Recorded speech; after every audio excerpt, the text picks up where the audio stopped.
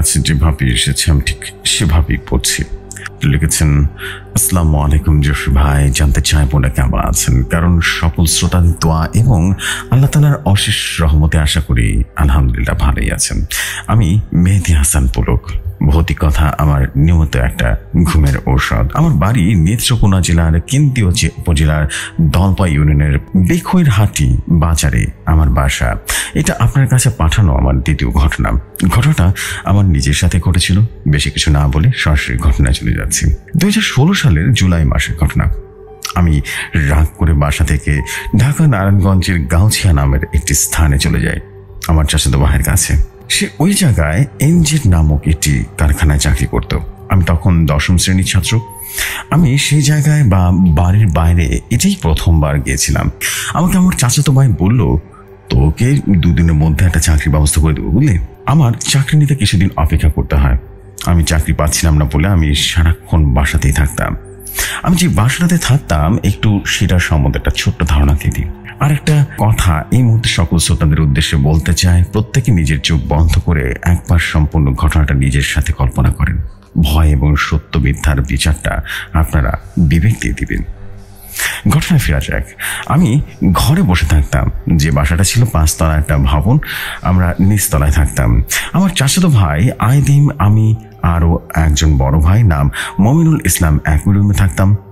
একটা ওই বিল্ডিংয়ের তৃতীয় তলা পর্যন্ত সম্পূর্ণ ছিল এবং প্রথম এবং দ্বিতীয় তলাটি এবং তৃতীয় তলা তৃতীয় তলায় বাড়িওয়ালা থাকতো, তবে বাসাটা একটা নিয়ম ছিল। সেই বাসায় যারা থাকতো, তাদের প্রত্যেকের একটা তাবিজ দেওয়া হতো বা হাতে বাঁধার জন্য। সে নিয়মে আমাকেও দেওয়া হয়, কিন্তু সেটা অপ্রয়োজনীয় ভেবে ব্যবহার করিনি আমি। দুই দিন পর আমি যখন বাসার ছাদে গল্প করতে গেলাম, আমি দেখলাম বিল্ডিং এর ছাদে একটা কাঁটাযুক্ত গাছ এবং ছাদের মাঝখানে পিলারের মাথায় একটা গরুর মাথার খুলি ঝুলিয়ে রেখেছে। ব্যাপারটা আমার কাছে অদ্ভুত লাগলেও কারও কাছে কিছু আগ্রহ ছিল না তো হঠাৎই একদিন দুপুর দেড়টার দিকে আমি বাসার ছাদে চলে যাই। সময় কাটাতে কিন্তু তাতেও কিছুই ভালো লাগছিল না। তাই বিল্ডিং এর চতুর্থ তলায় এবং পঞ্চম তলায় একটু হাঁটাহাঁটি করছিলাম। হঠাৎ চতুর্থ তলায় সিঁড়ির সামনে রুম দুটি দেখে আমার কেমন জানি অদ্ভুত মনে হচ্ছিল। কারণ রুমের প্রয়োজনীয় সকল কিছু রয়েছে। কিন্তু রুমের ভেতরে অবস্থা দেখে মনে হচ্ছিল সেই রকমই। অনেক অনেক দিন যাবৎ এখানে কেউ থাকে না। এবং দেখে যা অনুমান করলাম সেই রুমের দরজাটাতে কিছু কাঠের টুকরো পেরেকের সাহায্যে আটকে দিয়ে রুমটা বন্ধ করে রাখা হয়েছে। আমি কীভাবে যেন ধীরে ধীরে দরজাটা খুলে ভেতরে প্রবেশ করলাম। রুমটাতে অসংখ্য মাকড়সার জাল এবং আমি খেয়াল করলাম বিছানার উপরে ফ্যান ঝুলানোর বড় একটা রড আছে এবং একটা রশি আছে। আমি ভাবলাম হয়তো এই রশি দিয়েই ফ্যান বাঁধা ছিল। তখনই আমার কেমন যেন অস্বাভাবিক অনুভূতি হলো। মনের ভেতরে একটা ভয় কাজ করছিল না, কিন্তু পেছন থেকে হঠাৎ করে কারও পায়ের আওয়াজ পেলাম। তখনই আমার চাচাতো ভাই পেছন থেকে আমাকে নাম ধরে ডাক দেয়। ভয় ভয় পেছনে ফিরতে চাইলাম। অনেক আশ্চর্য গলায় বলে উঠল, এই, তুই রুমের ভিতরে ঢুকলি কি করে? আর কেন ঢুকলি? আমি ওর বড় চোখ দেখে অবাক করার মতো ব্যবহার উপলব্ধি করে উঠলাম এবং বললাম, কেন? আর তাতে হয়েছেটা কি? তখন ও আমার হাতের দিকে খেয়াল করল এবং আবারও আমাকে বলে উঠল, তোকে যে বারবার যে তাবিজটা দিয়েছিল, সেটা কি করেছিস হ্যাঁ? আমি তখন বললাম, ওটা আমি ব্যবহার করিনি, ওইটা রুমে রেখে দিয়েছি। আমার চাচাতো ভাই আমার হাতটা ধরে দৌড়ে সিঁড়ি দিয়ে নামতে লাগল আর বলছিল, আমার সাথে রুমে চল, জলদি চল আমি কিছুটা ভয় পেয়ে গেলাম? এবং রুমে পৌঁছাতে মমিনুল ভাই অফিস থেকে বাসায় খেতে লাগল এবং আমার চাচাতো ভাই সব কিছু তাকে খুলে বলল। তারপর তাবিজটা আমার হাতে বেঁধে দিয়ে যা বলল, তা জানলে আমি কোনোদিন ওই রুমের ভেতরে তো দূরের কথা, যে ভাই আমি রুমের আশেপাশ দিয়েও যেতাম না। তারা আমাকে বলল, ওই রুমে আজ থেকে এক বছর আগে বারোওয়ালার মেয়ে ফাঁসিতে ছিল, আত্মহত্যা করেছিল এবং তখন এই বিল্ডিং এর চতুর্থ তলার প্লাস্টারের কাজ চলছিল। মিস্ত্রিরা কাজ করা বন্ধ করে দিয়ে দেয় এবং মালিকের হাত পা ধরে এই কাজ ছেড়ে চলে যায়। এবং পরে জানা গেছে প্রতিটা মিস্ত্রির সাথে নাকি অস্বাভাবিক ঘটনা ঘটেছে এবং এরপর থেকে তারা এই সিদ্ধান্ত নিতে বাধ্য হয়েছে। সে আত্মহত্যার পরে এই পুরো এর সম্পূর্ণ কাজ করার চেষ্টা করেছে। কিন্তু সারাদিন মিস্ত্রিরা যতটুকু কাজ সম্পূর্ণ করে রাখতো, রাতে যে দেখা যেত পুরোপুরি অস্বাভাবিকভাবে ধসে গিয়েছে সে গাছগুলো, যা সাধারণ মানুষের দ্বারা কখনো সম্ভব হয়নি। সেই কারণে এই বিল্ডিংটা এখন পর্যন্ত আজ পর্যন্ত অসম্পূর্ণ, বুঝলি? আবার রাতে চতুর্থতলা এবং পঞ্চমতলা একটা মেয়ে কণ্ঠ আত্মনাদ করে, আটাটি করে, বুঝলি? মাঝে মাঝে অনেকেই দেখে, ওই রুমে নাকি অনেক নারী অব ফাঁসিতে ঝুলে থাকে। অদ্ভুত অদ্ভুত ঘটনা ঘটে। গত মাসেও তো গেটের সাথে নাকি যে বড় ভাইটা থাকে না, সে দেখে চিৎকার দিয়ে অজ্ঞানে পড়ে গিয়েছিল। তার চিৎকার শুনে তাকে আমরা অনেকে দেখতে গিয়ে দেখি যে উনি সিঁড়িতে পড়ে আছে এবং নাকি মুখে একেবারে আঁচলের দাগ। পরে আমরা সবাই ধরাধরি করে রুমে নিয়ে আসি। তার কথা শুনে আমার অনেকটা ভয় লেগে গেল। সে কারণে অনেক দিন ছাদে যাওয়া বন্ধ করে দিলাম। আর যে ভাই সত্যি কথা বলতে এই দুনিয়ায় যত ভূতের কাহিনী আর যত ভয়ঙ্কর সব ঘটনা ঘটে, সব রাতের বেলাতে ঘটে। দিনের বেলাতে অনেক ভীত লোকেরা অনেক কিছুতে ভয় করে না বা ভয়টা দিনের বেলাতে কাজ করে না। কিছুদিন পার হয়ে ধীরে ধীরে আমার কাছে পুরো গল্পটা একটা গুজব মনে হলো এবং সপ্তাহখানেক পরে হঠাৎ একদিন সন্ধ্যা আমি ছাদ থেকে কাপড় আনতে যাই। ঠিক তখনই আমার সাথে দ্বিতীয় ঘটনাটি ঘটে। সেখান থেকে ফেরার পথে চতুর্থতলায় সেই রুমটার সামনে আসতে আমার ভয় চোখ যেন ছানা মারা সেই রুমের দিকে আমি যা দেখলাম তা দেখার জন্য একদম প্রস্তুত ছিলাম না জেফরি ভাই। আর আমার এই অশুভ সন্ধ্যা আমি কোনো দিন বলতে পারি না পারব না। কথায় আছে না, যেখানে ভাগ্যের ভয়, সেখানেই সন্ধ্যা হয়। আমি দেখলাম সেই রুমের দরজাটা পুরোটা খোলা আর ভেতরে কোনো একটা মেয়ে অপর ফাঁসিতে ঝুলছে। অন্ধকার থাকার চেহারাটা পুরোপুরি দেখা যাচ্ছিল না এবং মেয়ে অপরটা তার জীবন বাঁচানোর জন্য আর্তনাদ করছে। হাত পা নাড়াচ্ছে আর দেখে মনে হচ্ছে একটু আগে ফাঁসিতে ঝুলেছে। এবং তার মুখ প্রচুর রক্তপাত হচ্ছে। আমি চিৎকার করে দৌড় দিতেই সিঁড়িতে পড়ে একেবারে রীতিমতো আমার পা আটকে যায় এবং আমি পড়ে যাই। এবং আমার কাছে মনে হচ্ছিল আমার বাম পাটা কেউ একজন হাত জড়িয়ে রীতিমতো টেনে ধরেছে এবং আমার ডান পা দিয়ে অপর পাটা লাথি দিয়ে ছুটানোর অনেক চেষ্টা করছি, কিন্তু না। কারণ যদি দুই পায়ে ধরে ফেলি, আমার নিচের দিকে কোনোভাবে যেতে পারছি না। আমি উপর হয়ে সিঁড়িতে পড়ে আছি এবং পেছনের দিকে তাকিয়ে দেখি কালো রঙের একটা কুকুর এবং অনেকটা কুকুরের মতো কিছু একটা হবে। কিন্তু সারা গায়ে দুই থেকে তিন ইঞ্চি করে লোম ছিল। কিন্তু তার দুই থেকে তিন ফিট দুটো লম্বা এবং একটা হাতে আমার পা ধরে টানছে।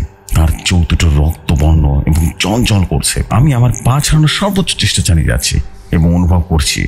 কথা বলার শক্তি আমার ধীরে ধীরে দূরে চলে যাচ্ছে এবং চিৎকার তো দূরের কথা, কিছুই জানো নেই। ঠিক তখনই ওই আবরটা আমার উপরে লামতে পড়ল আর আমি শেষ শক্তি দিয়ে চিৎকার করার চেষ্টা করি এবং সফল হই। তবে আমি অজ্ঞান হয়ে পড়ি। তারপর আমার আর কিছু মনে নেই। পরে যখন চোখ খুলি, তখন আমি নিজেকে আমার রুমে দেখতে পাই। আমি অনুভব করলাম আমার কপালে, ঠোঁটে, হাতে এবং পায়ের হাঁটুতে অনেক যন্ত্রণা বোধ করছি এবং দেখতে পাই ব্যান্ডেজ করা এবং আমাকে একটা স্যালাইন পরানো আছে। রুমের ভেতরে বিল্ডিং সবাই উপস্থিত ছিল এবং অনেকে আমার কাছে জানতে চেয়েছিল কি হয়েছে। আর আমি সিঁড়িতে পড়ে গেছিলাম কিনা, আর কেনই বা পড়েছিলাম। বাড়িওয়ালা নাকি রাত আটটার দিকে সিঁড়িতে ধূমপান করতে গিয়ে আমার চিৎকার শুনে উপরে যায় এবং গিয়ে আমাকে পড়ে থাকতে দেখে। আমার গায়ের সকল লোম যেন কাঁটাতে ওঠে। আমি কান্না করতে করতে সকল কিছু খুলে বলি। তারপরে বাড়িওয়ালা সকলকে বলে দেয়, এই ঘটনা যেন বাইরে কেউর কাছে না পড়ে। তারপরে আমার পাঁচ থেকে সাত জন ছিল এবং বাড়িওয়ালা মসজিদের হুজুরকে ডেকে আনে। হুজুর চার ফুট দেওয়ার পরে বলে ওরা হয়তো, মেরেই ফেলতো। সন্ধ্যা আটটার দিকে এসার নামাজ, নামাজের আজান দেওয়ার কারণে ওটা ছেড়ে দিয়েছে, বুঝলে? এখন আলহামদুলিল্লাহ, কোনো সমস্যা নেই। একটা তেল পরা দিয়ে দিচ্ছি। প্রতিদিন গোসল করার পরে সারা গায়ে দেবা। আর সবসময় পাক পবিত্র থাকার চেষ্টা করবা। এই বলে উনি চলে যায় এবং অল্প কয়েকদিনের মধ্যে আশেপাশের সকলের মধ্যে জানাজানি হয়ে যায় ঘটনাটা। তাতে কোনো অসুবিধার সৃষ্টি হয়নি, কারণ সেই জায়গার সকলেই এই বিষয়টি মোটামুটি ভালো মন্দ জানতো। আমি সুস্থ হওয়ার দু মাস পরে ওই জায়গা থেকে চলে আসি। তবে এই দুই মাসের মধ্যে আরও একটা ঘটনা ঘটেছিল কবরস্থানে। ওইটা অন্যদিন ইমেল করে পাঠাবো, যদি আপনার অনুমতি পায়। যে সময় এই ছিল আমার ঘটনা, ঘটনাটি ভালো লাগবে পড়ে শোনাবেন। যিশু ভাই এবং ভৌতিক কথার দীর্ঘজীবী হোক।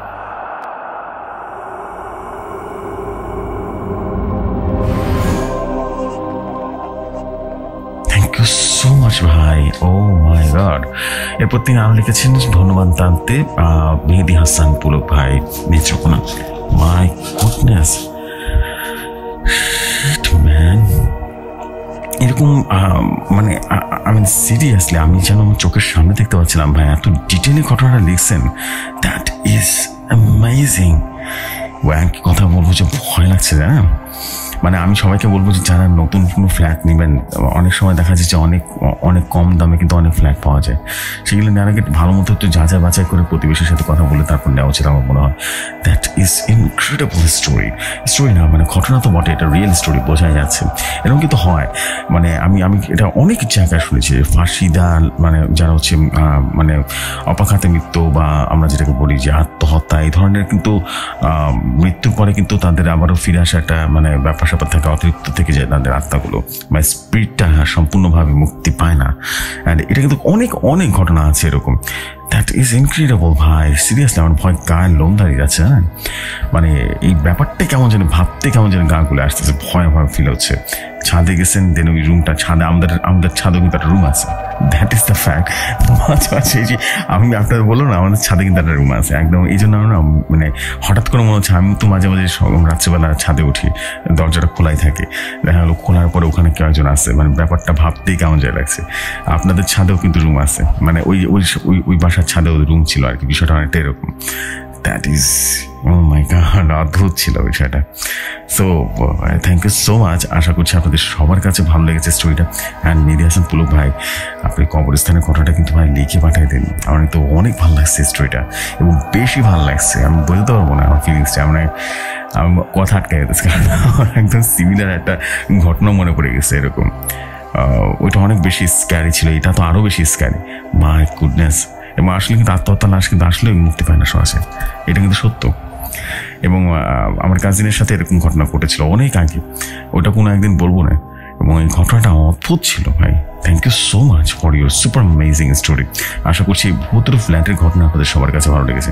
এবং সবচেয়ে প্রথম থেকে একটা টুইস্টেড ব্যাপার ছিল, ওই তাবিজ দেওয়ার যে বিষয়টা, এটা আসলে প্রথম থেকে একটু হন্টেড একটা ব্যাপার কাজ করছে স্টোরিটা this is what you call story আপনাদের বলি না যে স্টোরি মানে ইউনিক স্টোরি ইউনিক স্টাইলের story this is what you call unique স্টাইলের story thank you so much Pulak ভাই ফর দিস ওয়ান্ডারফুল স্টোরি আশা করছি আপনারা আরও স্টোরি পাবো। অবশ্যই পাঠিয়ে দেবেন আপনার আরও স্টোরি চলে যে পরবর্তী ঘটনা, আশা করছি পরবর্তী ঘটনা আপনাদের সবার কাছে ভালো লাগে চলে যায় ঘটনায়।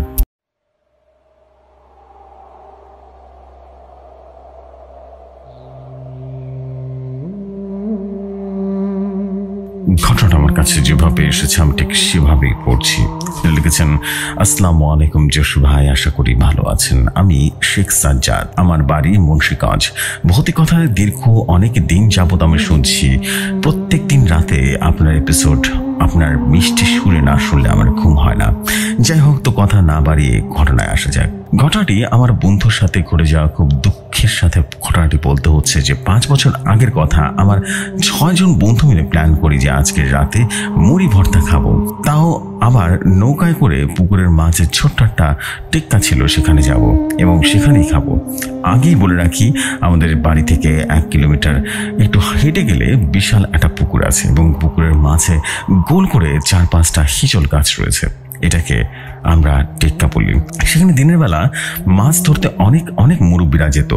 তো যেই ভাবার সেই কাজ, তো আমরা তিনজন তিনটা সাইকেল নিয়ে রওনা দিলাম পুকুর পাড়ে। তো বলে রাখি, পুকুর পাড়ের সব সময় একটা নৌকা বাঁধা থাকে। এবং নৌকাটি হচ্ছে আমার বন্ধু রাকিবের দাদার। আমরা চারজন টেক্কাতে চলে গেলাম এবং বাকি দুজনকে বলে দিলাম, সাইকেল দিয়ে বাজারে যে দুজন মুড়ি ভাজা এবং চানাচুর ভাজা নিয়ে আসতে। যা যা লাগবে সেগুলো যেন কিনে নিয়ে এবং তারা দুজন বাজারের দিকে রওনা হলো। আমরা চারজন টেক্কাতে বসে পৌঁছিলাম এবং আমরা চারজন টেক্কাতে পৌঁছালাম। আমি রবিনকে নিয়ে বাজারে সাইকেলে গেলাম, ঠিক আছে?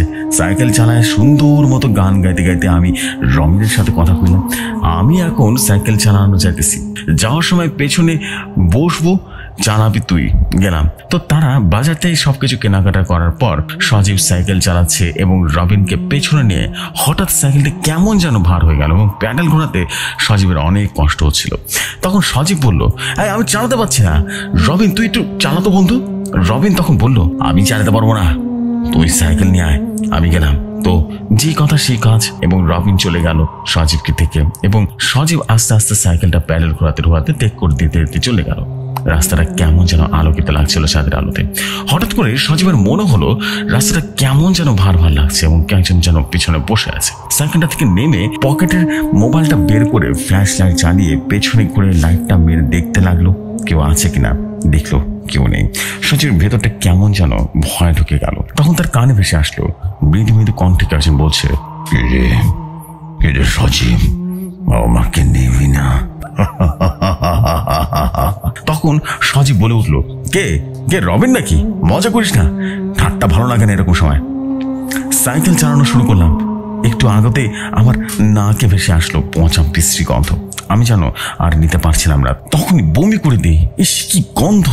মনে মনে আল্লাহকে ডাকতে লাগলাম। তখন যেন আমার দিয়ে কোনো সুরা পড়ে হচ্ছিল না। তার কিছুক্ষণ পরে কে যেন আমার পেছনে আমাকে জড়িয়ে ধরলো। তখন আমি কেমন জানি প্যাডেল ঘোরাতে পারছিলাম না। আল্লাহর নাম নিয়ে সাইকেল থেকে নেমে পড়লাম।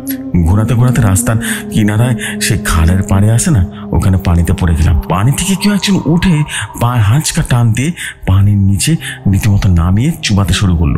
এবং চাঁদের আলো মুখটা দেখা যাচ্ছে। চোখগুলো ঝলঝল করছিল। আমি অনেক জোরাজুরি করার পরে পানি থেকে উঠে এক দৌড় দিয়ে রীতিমতো রাস্তায় উঠে গেলাম। তারপর আমি সেখানে অজ্ঞান হয়ে যাই।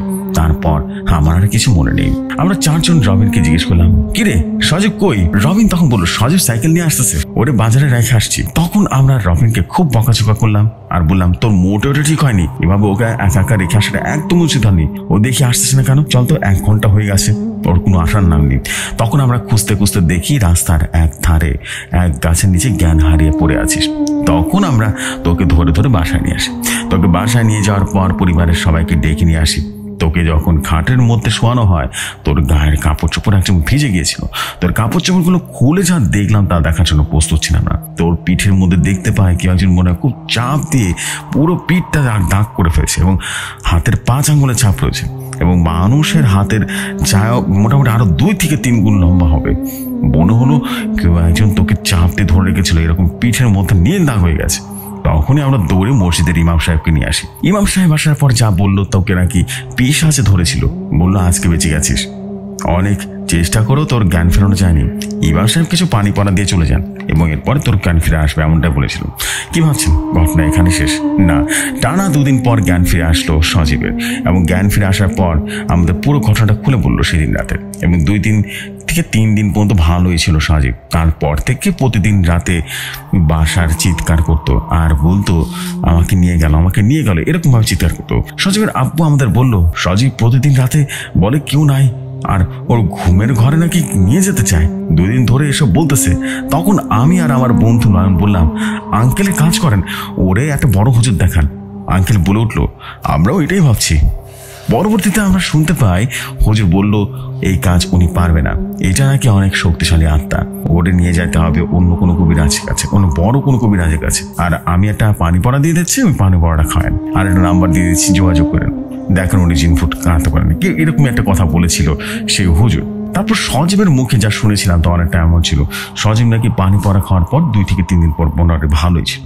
এবং পুকুরে নাকি গোসল করতে যাব এবং তোমাদের, আমাদের সবার সাথে কথা বলে দুপুর দেড়টার থেকে চলে গেল এবং আমার পোলা বাসায় আহে না। তোমাকে কল দিলাম। তোমরা কইলা যে তোমাকে লগে নাকি চলে গেছে।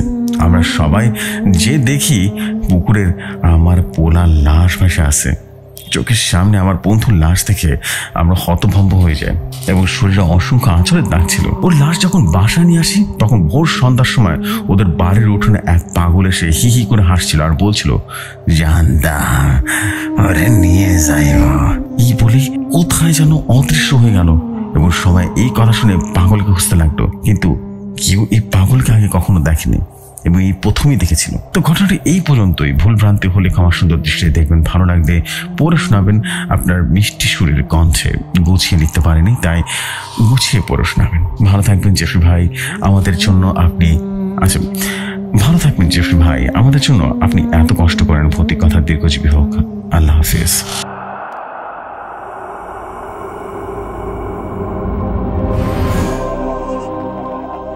থ্যাংক ইউ সো মাচ ভাই.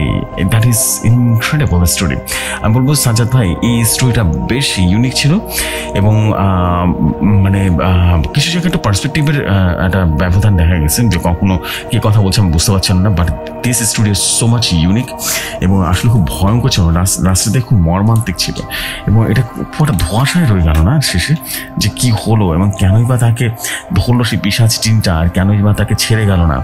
দ্যাট ওয়াজ ইনক্রেডিবল স্টোরি আসলে কি মানে ম্যাক্সিমাম ভয়ের ঘটনাগুলো বা রিয়েল হরর স্টোরিগুলো না, আমি যেটা দেখেছি যে সবসময় ধোঁয়াশার ভিতরে থেকে যায়। আসলে বোঝা যায় না যে আসলে এটা হলোটাকে এটা রহস্য, রহস্যই থেকে যায়। এবং এই জন্যই বোধ হয় রহস্যের সাথে ভৌতিক ব্যাপার স্যাপারগুলো সবচেয়ে বেশি কাজ করে। This story is mind blowing mind blowing ভাই এবং শেখ নামটা আমি ঠিক শেখ সাজাদ ভাই। শেখ সাজাদ ভাই, আপনি প্লিজ আরও স্টোরি পাঠাবেন। আপনার স্টোরি বেশ ভালো ছিল। এবং আলহামদুলিল্লাহ আপনার স্টোরি শেয়ার করে দিয়েছি। দারুণ এক ঘটনা আপনি পাঠিয়েছেন মাসাল্লাহ এবং আমি চাই যে আপনি আরও জোস জোস স্টোরি আমাকে কালেক্ট করে পাঠিয়ে দিন।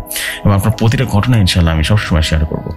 এবং আশা করছি আপনার প্রতিটা ঘটনা সবসময় শেয়ার করতে পারলে আমার অনেক বেশি ভালো লাগবে। থ্যাংক ইউ সো মাচ ভাই। এবং আশা করছি আপনি দ্রুত দেরি না করে আজকে লিখে ফেলুন আরেকটি ঘটনা। চলে যাব পরবর্তী ঘটনা। আশা করছি পরবর্তী ঘটনা আপনাদের সবার কাছে দারুণ রকম সুন্দর লাগবে। চলে যাই ঘটনায়।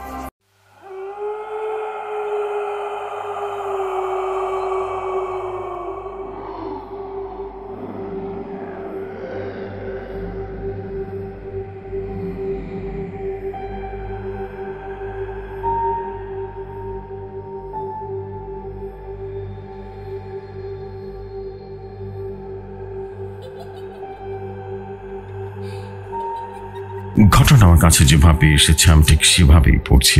তিনি লিখেছেন, আসসালামু আলাইকুম প্রিয় ভাই এবং ভৌতিক কথা পরিবারের সকল লিসনারগণ আশা করি সবাই ভালো আছেন। আমিও আল্লাহর অশেষ রহমতে ভালো আছি। আমি নাবির হাসান, আমার বাড়ি ময়মনসিংহ জেলার ফুলবাড়িয়া উপজেলায়। যদিও পড়াশোনার জন্য বর্তমানে ময়মনসিংহ শহরে অবস্থান করছি যশু ভাই, আপনিও সকল ভৌতিক কথার পরিবারের সবার কাছে ক্ষমা চেয়ে নিচ্ছি। যদি কোনো ভুল ত্রুটি হয়ে থাকে, ক্ষমা শুনতে দেখবেন। বেশি কথা না বলে সরাসরি ঘটনায় চলে যাব। আমার নিজের সাথে ঘটে যাওয়া এক ভয়ঙ্কর রাতের ঘটনা। তাই কথা আজ বেশি না বাড়িয়ে ঘটনায় চলে আছি ঘটনাটি আমার গলায় শুনতে যত না ভালো লাগবে, তার থেকে অনেক বেশি ভালো লাগবে যখন ঘটনাটি প্রিয় জিপসি ভাইয়ের গলায় শুনবেন। নিজের সাথে ঘটে যাওয়া যে কোনো কিছু আপনি যতটা না অনুভব করতে পারবেন, তা অন্য কিছু শুনে বা ততটা অনুভব করা যায় না। তো ঘটনাটি ঘটে এই বছর অক্টোবর মাসের তিন তারিখে। মাত্র হায়ার সেকেন্ডারিতে পরীক্ষা শেষ হলো এবং বরাবরের মতো পরীক্ষা শেষ হলে নানুবাড়ি যাওয়ার মতো একটা প্ল্যান মাথায় আসলো। ছোট সময় আম্মু আব্বু সাথে গেল, এখন বয়স বাড়ার সাথে সাথে একাই যায়। আগে বলে নেই, আমার মা একজন স্কুল শিক্ষিকা আর বাবা ডাক্তার। তাদের সাময়িক ব্যস্ততার কারণে এইবার তাদের সাথে দেখা হবে না। এবং দুই তারিখ দুপুরে খাবার শেষ করে হঠাৎ আমার বন্ধু শিশিরে ফোন আসলো এবং সে বলল, কিরে, কোথায় তুই? পরীক্ষা শেষ করে কি ভুলে গেছিস নাকি? তো আমি কিছুদিন যাবৎ ফ্রি আছি। কোথাও ঘুরতে যাবে নাকি? প্রত্যুত্তরে আমি বললাম হ্যাঁ যাব তো। অনেকদিন হলো যাওয়া হয় না। ওদিকে পরীক্ষা শেষ। আমার বন্ধু শিশিরের বড় ভাইয়ের বাইক থাকায় আমরা প্রায় ঘুরে- ঘোরাঘুরি করতাম। এবার দূরের কোথাও যাওয়ার কথা বলল শিশির। আমি বললাম, কোথায় যাবি? শিশির তখন বলল তুই যেখানে নিয়ে যাস, সেখানেই যাব। আমি চিন্তা করলাম, হুম, আমি কদিন যাব ভাবছি নানু বাড়িতে যাব। চাইলে তুই যেতে পারিস। সঙ্গে সঙ্গে শিশির বলে উঠল হ্যাঁ যাব যাব, কোনো সমস্যা নেই। শিশির আমার বন্ধুত্বটা খুব ভালো ছিল। এবং ছোটবেলার বন্ধু এবং আমাদের পরিবারের সাথে খুব ভালো একটা সম্পর্ক থাকায় সবসময় আমরা যে কোনো সঙ্গে, যে কোনো ভাবেই চলে যেতাম। সঙ্গে শিশির আছে বললে, বাবা কখনো দুশ্চিন্তা করতো না। সেদিন সন্ধ্যার সময় আমরা বেরিয়ে পড়ি নানু বাড়ির উদ্দেশ্যে। আমার নানা বাড়ি একই উপজেলার আছিম বাজার হুরবাড়ি গ্রামে। বাইকে করে যেতে ঘন্টাতে রেখ লাগে।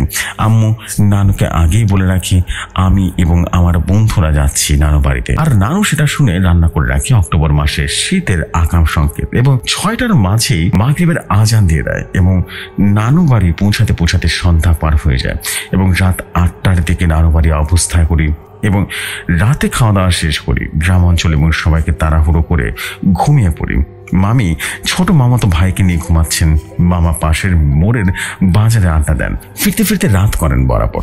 যার ফলে আর অপেক্ষা না করে শুয়ে পড়লাম। নানু আমাদের জন্য বিছানা প্রস্তুত করে রাখেন, তো শহরে বড় হয়েছে, তো তাড়াতাড়ি ঘুম আসে না।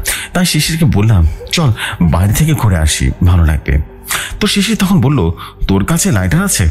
আমি বললাম, কেন? স্মোক করবি নাকি? তখন বলল হ্যাঁ চল। এবং বাড়ির পাশের বড় একটা পুকুর আছে এবং পুকুর পাড়টা বেশ বড় সামনে বিল। তার তখন বারোটায় বাজে এবং বাইরে আসি আমরা এবং বসে বসে গ্রামের সুন্দরী নীরব পরিবেশটা যেন উপভোগ করছিলাম একটা প্রশান্তির নিঃশ্বাস নিচ্ছি। দুজন ঘণ্টা খানিক আড্ডা দেওয়ার পর রুমে আসব ঠিক সেই সময় পাড়ের ওপর থেকে একজন সাদা জুব্বা পরা লোক, মধ্যবয়স্ক লোক, বিলের মধ্যে দিয়ে চলে যাচ্ছে।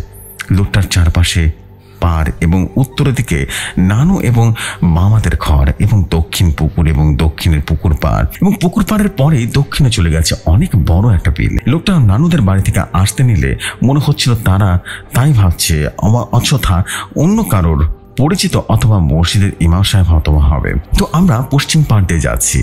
ওই লোকটা পুরো পার হয়ে আমাদের সমুদ্রাল বিপরীতের দিকে চলে যাচ্ছিল। অর্থাৎ বিলের দিকে চলে যাচ্ছিল। শেষে তখন বলল, চলো, রুমে চলে যায় কে না কে প্রচুর ঘুম পাচ্ছে আমার আমার অনিচ্ছাকৃত সত্ত্বেও আমাকে টেনে নিয়ে রুমে চলে আসলো, এই বলে ঘুম আসছে। আমি লোকটার শরীর থেকে এত সুন্দর সুঘ্রাণ আসছে যা এই পারেও আসছিল, আমি আমার জীবনে এত সুন্দর সুঘ্রাণ কখনো অনুভব করিনি। কি ভাবছেন? ঘটনা এতটুকুই? একজন লোক দেখলাম, তারপর কিছু ঘ্রাণ অনুভব করলাম এতটুকুই? না, ঘটনা শুরুই হয়নি। রাতে আমরা ঘুমিয়ে পড়ি। এবং পরীক্ষার পর অনেক দিন পর শান্তির একটা ঘুম দিব, শরীরটা হালকা লাগছে, সেই ঘ্রাণটা পাওয়ার পর। এবং ঘুমিয়ে পড়লাম। তার পরের দিন বিকেলে আমিও শিশির বাইক নিয়ে গ্রামের বাইরে চলে গেলাম। একটি গ্রামে অনেক বড় ফুটবল ম্যাচের আয়োজন করা হয়। এবং বিকেল চারটায় খেলা শুরু হবে আজ তিন তারিখ। এবং আমরা বিকেলে খাওয়ার দাওয়া শেষ করে হেঁটেই রওনা দিই। কেননা গ্রামের ওই রাস্তা নাকি খুব খারাপ এবং বাজে অবস্থা। এবং কাদার জন্য নাকি যানবাহন যাতায়াত করতে পারে না। তো কি আর করার? হেঁটে রওনা দিই এবং সেই পাশের গ্রামের উদ্দেশ্যে রওনা হই। খেলা শেষ হলো সন্ধ্যা ছয়টায়। আমাদের ফিরতে ফিরতে ঘণ্টা বা ঘণ্টা দুয়েক লাগবে। তাই আর দেরি কিসের? বের হলাম তখন শিশির বলল, কিছু খেয়ে নেই ক্ষুধা লাগছে। আমরা কিছু খাওয়া দাওয়া শেষ করে কিছুটা সিগারেট এবং কোল্ড ড্রিঙ্কস নিয়ে বের হয়ে পড়ি এবং রাস্তাটি বিলের মাঝ দিয়ে এই গ্রাম থেকে নানুদের গ্রামের সংযোগ স্থাপন করে এবং আমরা রওনা দিলাম চল্লিশ মিনিট যাওয়ার পরে একটা কবরস্থান পড়ল। অথচ যাওয়ার সময় খেয়াল করিনি, এটাই শিশিরকে বললাম। শিশির বলল, কেন? তুই খেয়াল করিসনি? আমি তখন বললাম, না এই বলে শিশির প্রচণ্ড প্রকৃতির ডাক দেয় এবং শিশির বলল, "এই শোন, আমার খুব জোরসে লাগছে রে। তুই একটু দাঁড়া, আমি আসছি। আমি হেসে বললাম আচ্ছা দেখিস, আবার কুকুর বিড়াল আবার লাফিয়ে আসিস না বুঝলি? শিশির তখন বলল, থাক, তুই একটু কষ্ট করে থাক, আমি আসছি, ঠিক আছে? আমি দাঁড়িয়ে দাঁড়িয়ে লক্ষ্য করলাম কবরস্থানটির রাস্তা বরাবর লম্বা, কম করে হলো প্রশস্ত ছিল, বেশ বড় এবং আমি দাঁড়িয়ে দাঁড়িয়ে বিষয়টি লক্ষ্য করছিলাম। অনেকক্ষণ হয়ে গেল, শিশির তো আসছে না। ফোন লাগাবো, নেটওয়ার্কটা চলে গেছে। হঠাৎ দেখি উনি হাজির। হালকা রাগান্বিত হয়ে বললাম, এই বেটা, রাত কয়টা বাজে? খেলা আছে তোর? এতক্ষণ লাগে তোর হ্যাঁ? নানু মনে হয় ঘুমিয়ে গেছে। রাত খাবার হয়ে গেছে, খেতে হবে না নাকি? জেফরি ভাই, সে তখন বলল, হুম, এরকম বলে একটা দীর্ঘশ্বাস ফেলল। হঠাৎ অনুভব করলাম আমার পেছনে কেউ একজন আসছে। আমি বিষয়টি মাথায় নিয়ে নিই, কিন্তু শিশির কিছুক্ষণ পরে বলল, কে রে, কেউ কি আসছে নাকি আমাদের পিছে? আমি যাওয়ার পর। আমি হেসে বললাম, তোর প্রকৃতির ডাকে ছাড় কিছু না। রাস্তা আসা মাত্রই পার হলাম, কবরস্থান পার হলাম। রাত তখন প্রায় সাতটা দশ মিনিট এবং অন্ধকার হয়ে গেছে। আমরা হাঁটছি। হঠাৎ আমার পাশে গরম কোনো কিছুর উপস্থিতি লক্ষ্য করলাম এবং শিশির বলল কিরে কেমন যেন লাগতেছে না? তুই কিছু বুঝতে পারছিস? আমি তখন বললাম, হুম, বুঝতে পারছি তো। কেমন যেন অস্থির লাগছে। হঠাৎ শিশির পড়ে গেল। আমি তখন বললাম, তা দেখে চলতে পারিস না? লাইট অন করেও কি কানা হয়ে গেলে নাকি? শিশির তখন বলল, না, কিছুটা পায়ের নিচে পড়ে গেল আর কি, এই জন্য আর কি। লাইট দিয়ে খুঁজছিলাম কিসের সাথে বাঁচলো, কিন্তু কিছুই তো খুঁজে পেলাম না। এই উঠ, চল। হঠাৎ আমি খেয়াল করলাম কবরস্থানের সামনে আমাদের পেছনে একটা কালো আবর দাঁড়িয়ে আছে। আমি তখন শিশিরকে বললাম এই, এটা দেখ তো, এটা কি? শিশির তখন বলল, কই কই, কি কোথায়? আমি তখন বললাম, কবরস্থানের সামনে দেখ। শিশির তখন বলল, কোনো একটা লোক দাঁড়িয়ে আছে হয়তোবা। শিশির বলল, এই নাবির, লোকটি এত লম্বা কেন রে? প্রায় দশ ফুটের মতো, বিশাল বড়। এবং চিকুন, লোকটা এতটা কালো যে উপস্থিতিটা রীতিমতো চাঁদের আলো তো বোঝা যাচ্ছে না কিছু। কিছু একটা তো আছে ওখানে কবরস্থানে দাঁড়- দাঁড়িয়ে আছে। চোখটি কেমন যেন লেজার লাইটের মতো লাল রঙের আলো বেরোচ্ছে। সাথে সাথে লোকটা এগুচ্ছে। আমরা হাঁটতে শুরু করলাম। কিন্তু ওই সময় রাত দুইটা বাজে। তখন আপেক্ষিক থেকে একদম পরম হয়ে গেছে। রাস্তা এগোচ্ছে না। এবং আমরা দুজনে বেশ ভয় পেয়ে গেছি। কেনই বা ভয় পাবো না? ওটা যে কোনো মানুষ ছিল না। এবং প্রথম থেকে আজীবন আমি এটাই অনুভব করছিলাম। কিছু না বলে তাড়াতাড়ি পা চালাতে লাগলাম দুজন। এবং মনে হলো আগে পেছনে ছিল। আমি তখন বললাম আশিস দেখ, সামনে কি হচ্ছে এগুলা? লোকটি লোকটি এত বড় বড় পা দিয়ে সামনে চলে আসলো কীভাবে? আমরা উল্টা দিকে হাঁটা শুরু করলাম।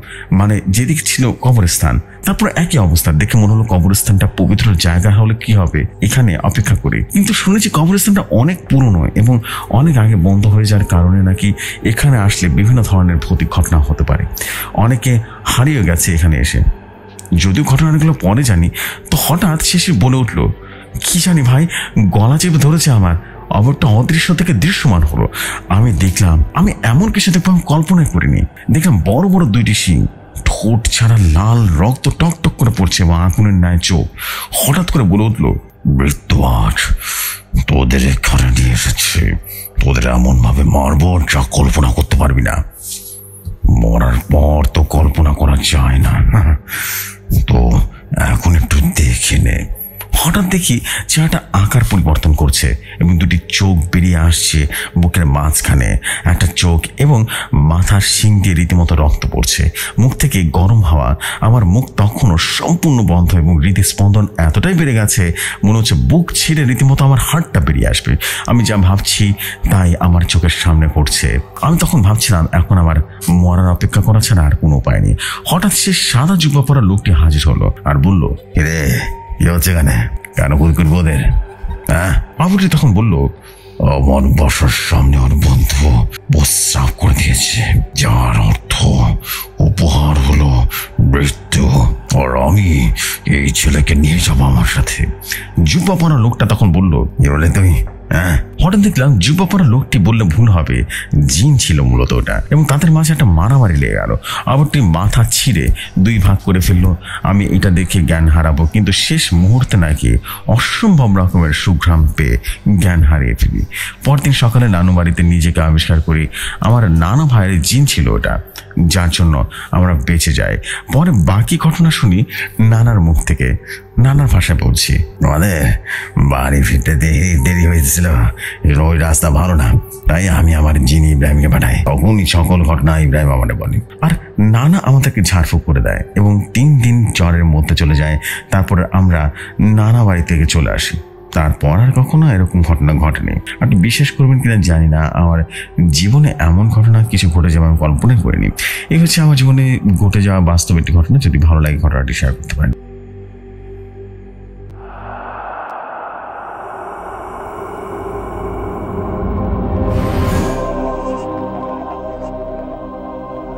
থ্যাংক ইউ সো মাচ ভাই, আশা করছি আপনার ঘটনাটি সবার কাছে ভালো লেগেছে। বেশ ডার্ক স্টোরি ছিল এবং লাস্টের দিকে লাস্টের দিকে বেশ ভালোই লেগেছে। Thank you very very much আমি চাই যে আপনি আরও স্টোরি পাঠান, ভালো ভালো স্টোরি পাঠান কালেক্ট করে করে এবং আমি সেটাই একমাত্র চাইব। বিকজ স্টোরিগুলো অনেক ভালো হয় আপনাদের। থ্যাংক ইউ সো মাচ এবং আশা করছি আপনাদের এরকম আরও স্টোরি পেলে হয়তো আরও বেশি সুন্দর লাগবে। এবং আশা করছি শুধু আপনি না, সবার কাছে বলব দারুণ দারুণ স্টোরি কালেক্ট করে পাঠিয়ে দেবেন। এবং বেশ ভালো স্টোরি ছিল বাট আর একটু ভালো হতো লাস্টের দিকে হয়তো বা একটু অগোছালো হয়ে গিয়েছিল but it's okay no problem আপনি ছোটো স্টোরি লিখেছেন খুব সুন্দর হয়েছে। ছোটো স্টোরি অনেক সুন্দরভাবে লেখা যায়, এটা হচ্ছে তা নিয়ে একটা প্রমাণ বলা যেতে পারে। So this is the fact Nabir ভাই থ্যাংক ইউ সো মাচ নাবির হাসান ভাই নাবির হাসান ভাইয়ের ঘটনা কিন্তু শেয়ার হয়ে গেল এবং আশা করছি আপনাদের সবার কাছে ঘটনাটি বেশ উপভোগ্য লেগেছে। তাই নয় কি? সো চলে যাই আরেকটি ঘটনায়। আশা করছি আপনাদের বেশ ভালো লাগবে। নেক্সট ঘটনাটি চলে যায় ঘটনায়।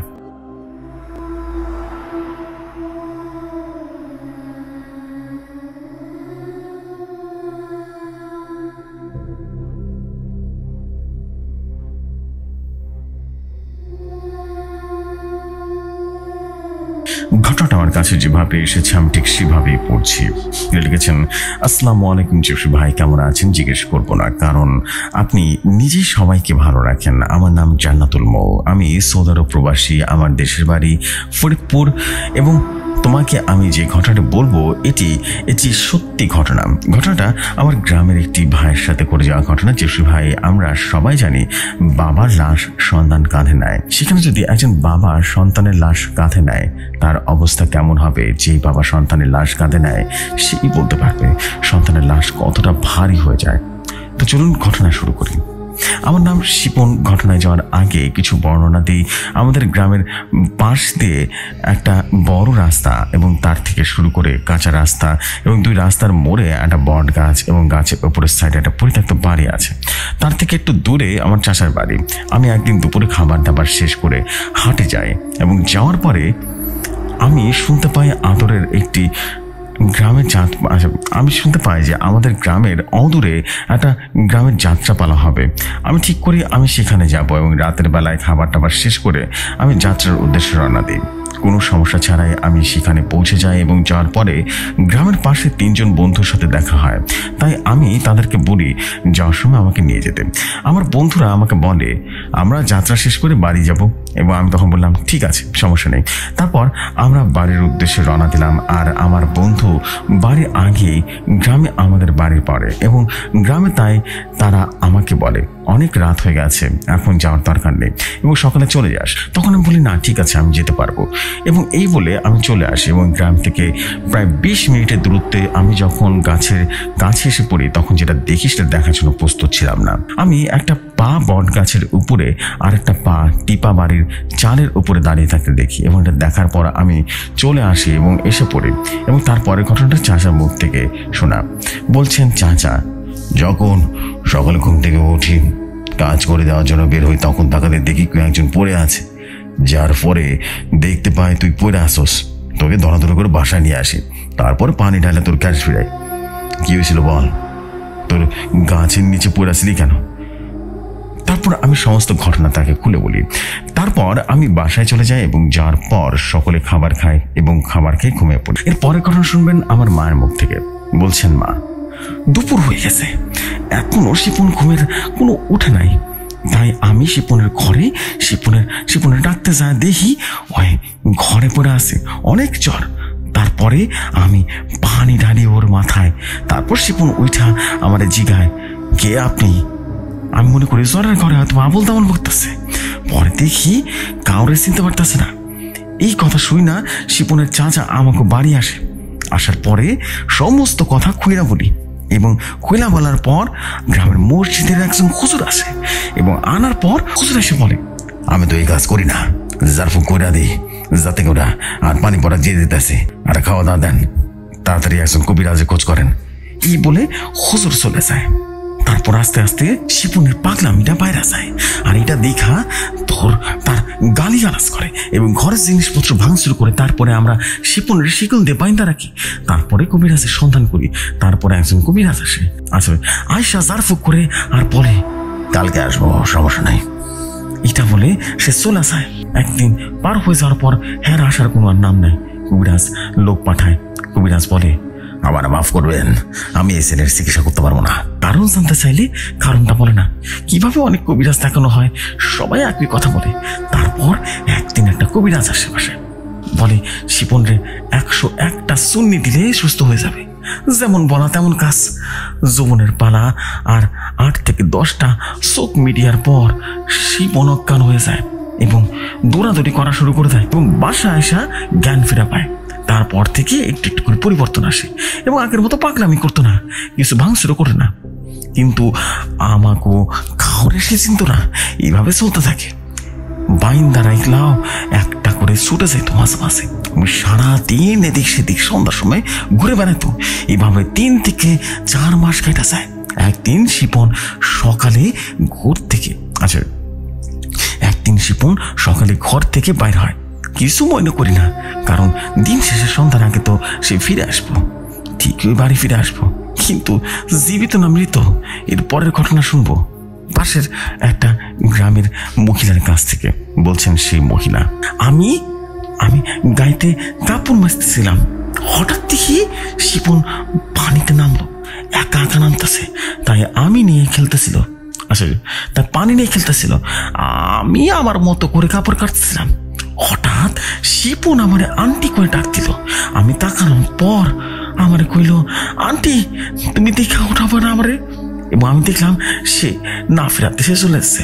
আমি ওর কথা কিছু মনে না করে আমি আমার মতো করে আবার কাপড় কাচতেছি। অনেকক্ষণ যাওয়ার পর আমি যেখানে ডুব দেয়, আমি দেখে তাকাই দেখি, তাকানোর পর আমি বলে, ঘুরতেছে। তারপরে আমি লোকজন ডাকি এবং লোকজন আসার পরে সমস্ত ঘটনা খুলে পড়ি। কেউ পানিতে নামতে সাহস পাইতেছিল না। এরপর একটা ছেলে আসে। আসার পরে শিপনের কথা বলতে গেলে এসে পানিতে নৌকা নিয়ে নেমে পড়ে এবং বাসে বাসের সাহায্য নিয়ে অনেক চেষ্টা করার পরে খুঁজে পায় এবং শিক্ষরে খোঁজ পাওয়া যায় শিপনরে খুঁজে পাওয়া যায়, কিন্তু জীবত না। মৃত অবস্থায় ছেলেটা উঠায় এবং তার নাম হানি শিখনের চাষা চাচাতো ভাই। তারপর শিপনের লাশ বাড়িতে আনা হয়।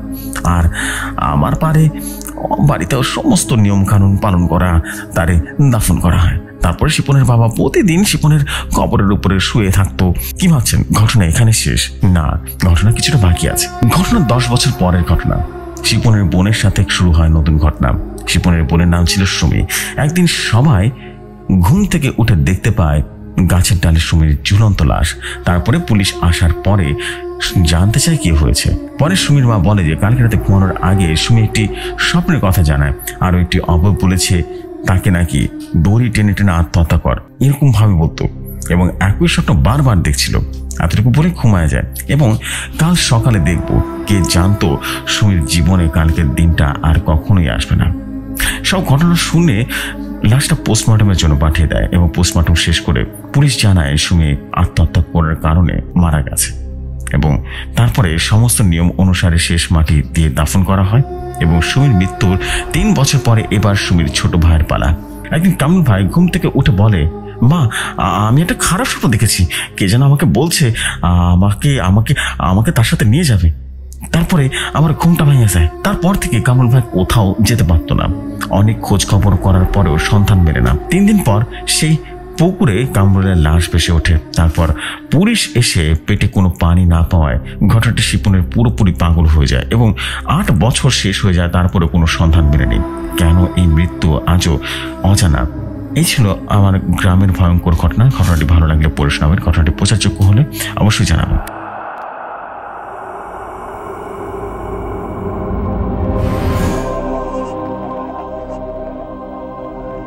থ্যাংক ইউ সো মাচ ভাই বাট আপনার ঘটনাটা বেশ বেশ দার ছিল এবং সত্যি বলছি, এবং বেশ ভীতিকর একটা ঘটনা ছিল। বাট বিলিভ মি আপনি এতটাই ভেঙে ভেঙে মানে মানে ঘটনাটা প্রথম দিকে ভালো ছিল। মাঝামাঝিতে এসে ঠিক আছে, কিন্তু একটা দাড়ি কমা নেই কোথাও যে থামবো সেটাও বুঝতে পারছি না আমি।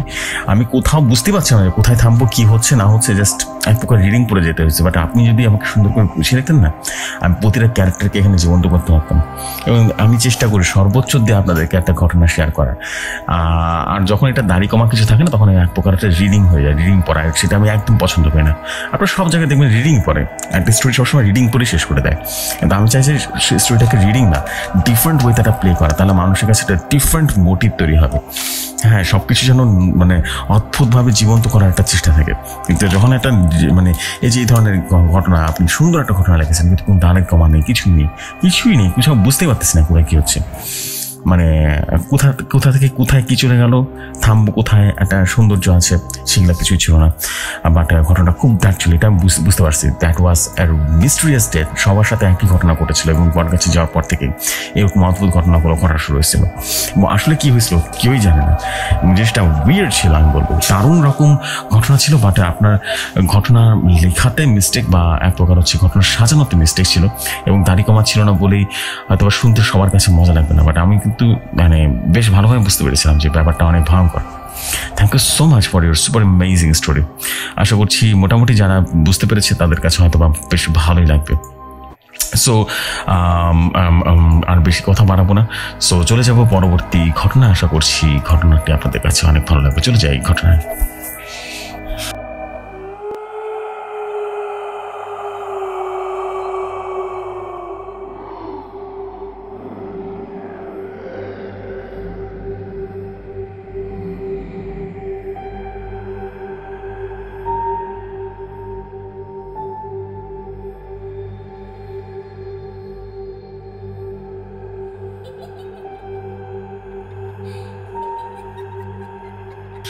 ঘটনাটা আমার কাছে যেভাবে এসেছে, আমি ঠিক সেভাবেই পড়ছি। তিনি লিখেছেন, আসসালামু আলাইকুম প্রাণপ্রিয় জসু ভাই, আশা করি ভালো আছেন। আমি একজন আপনার রেগুলার লিসনার জসু ভাই, একটা কথা কি জানেন? যার সাথে ঘটনা ঘটে, সেই শুধু বুঝে, বাকিরা শুধু খোঁজে সত্যতা। জসু ভাই, আমার লেখার অভিজ্ঞতা নেই, তাই আপনি আপনার মতো গুছিয়ে পড়ে শোনাবেন। ঘটনায় আসার আগে একটা কথা বলি, সবাই আমার ঘটনাটি শুনে আমাকে খারাপ ভাববেন না।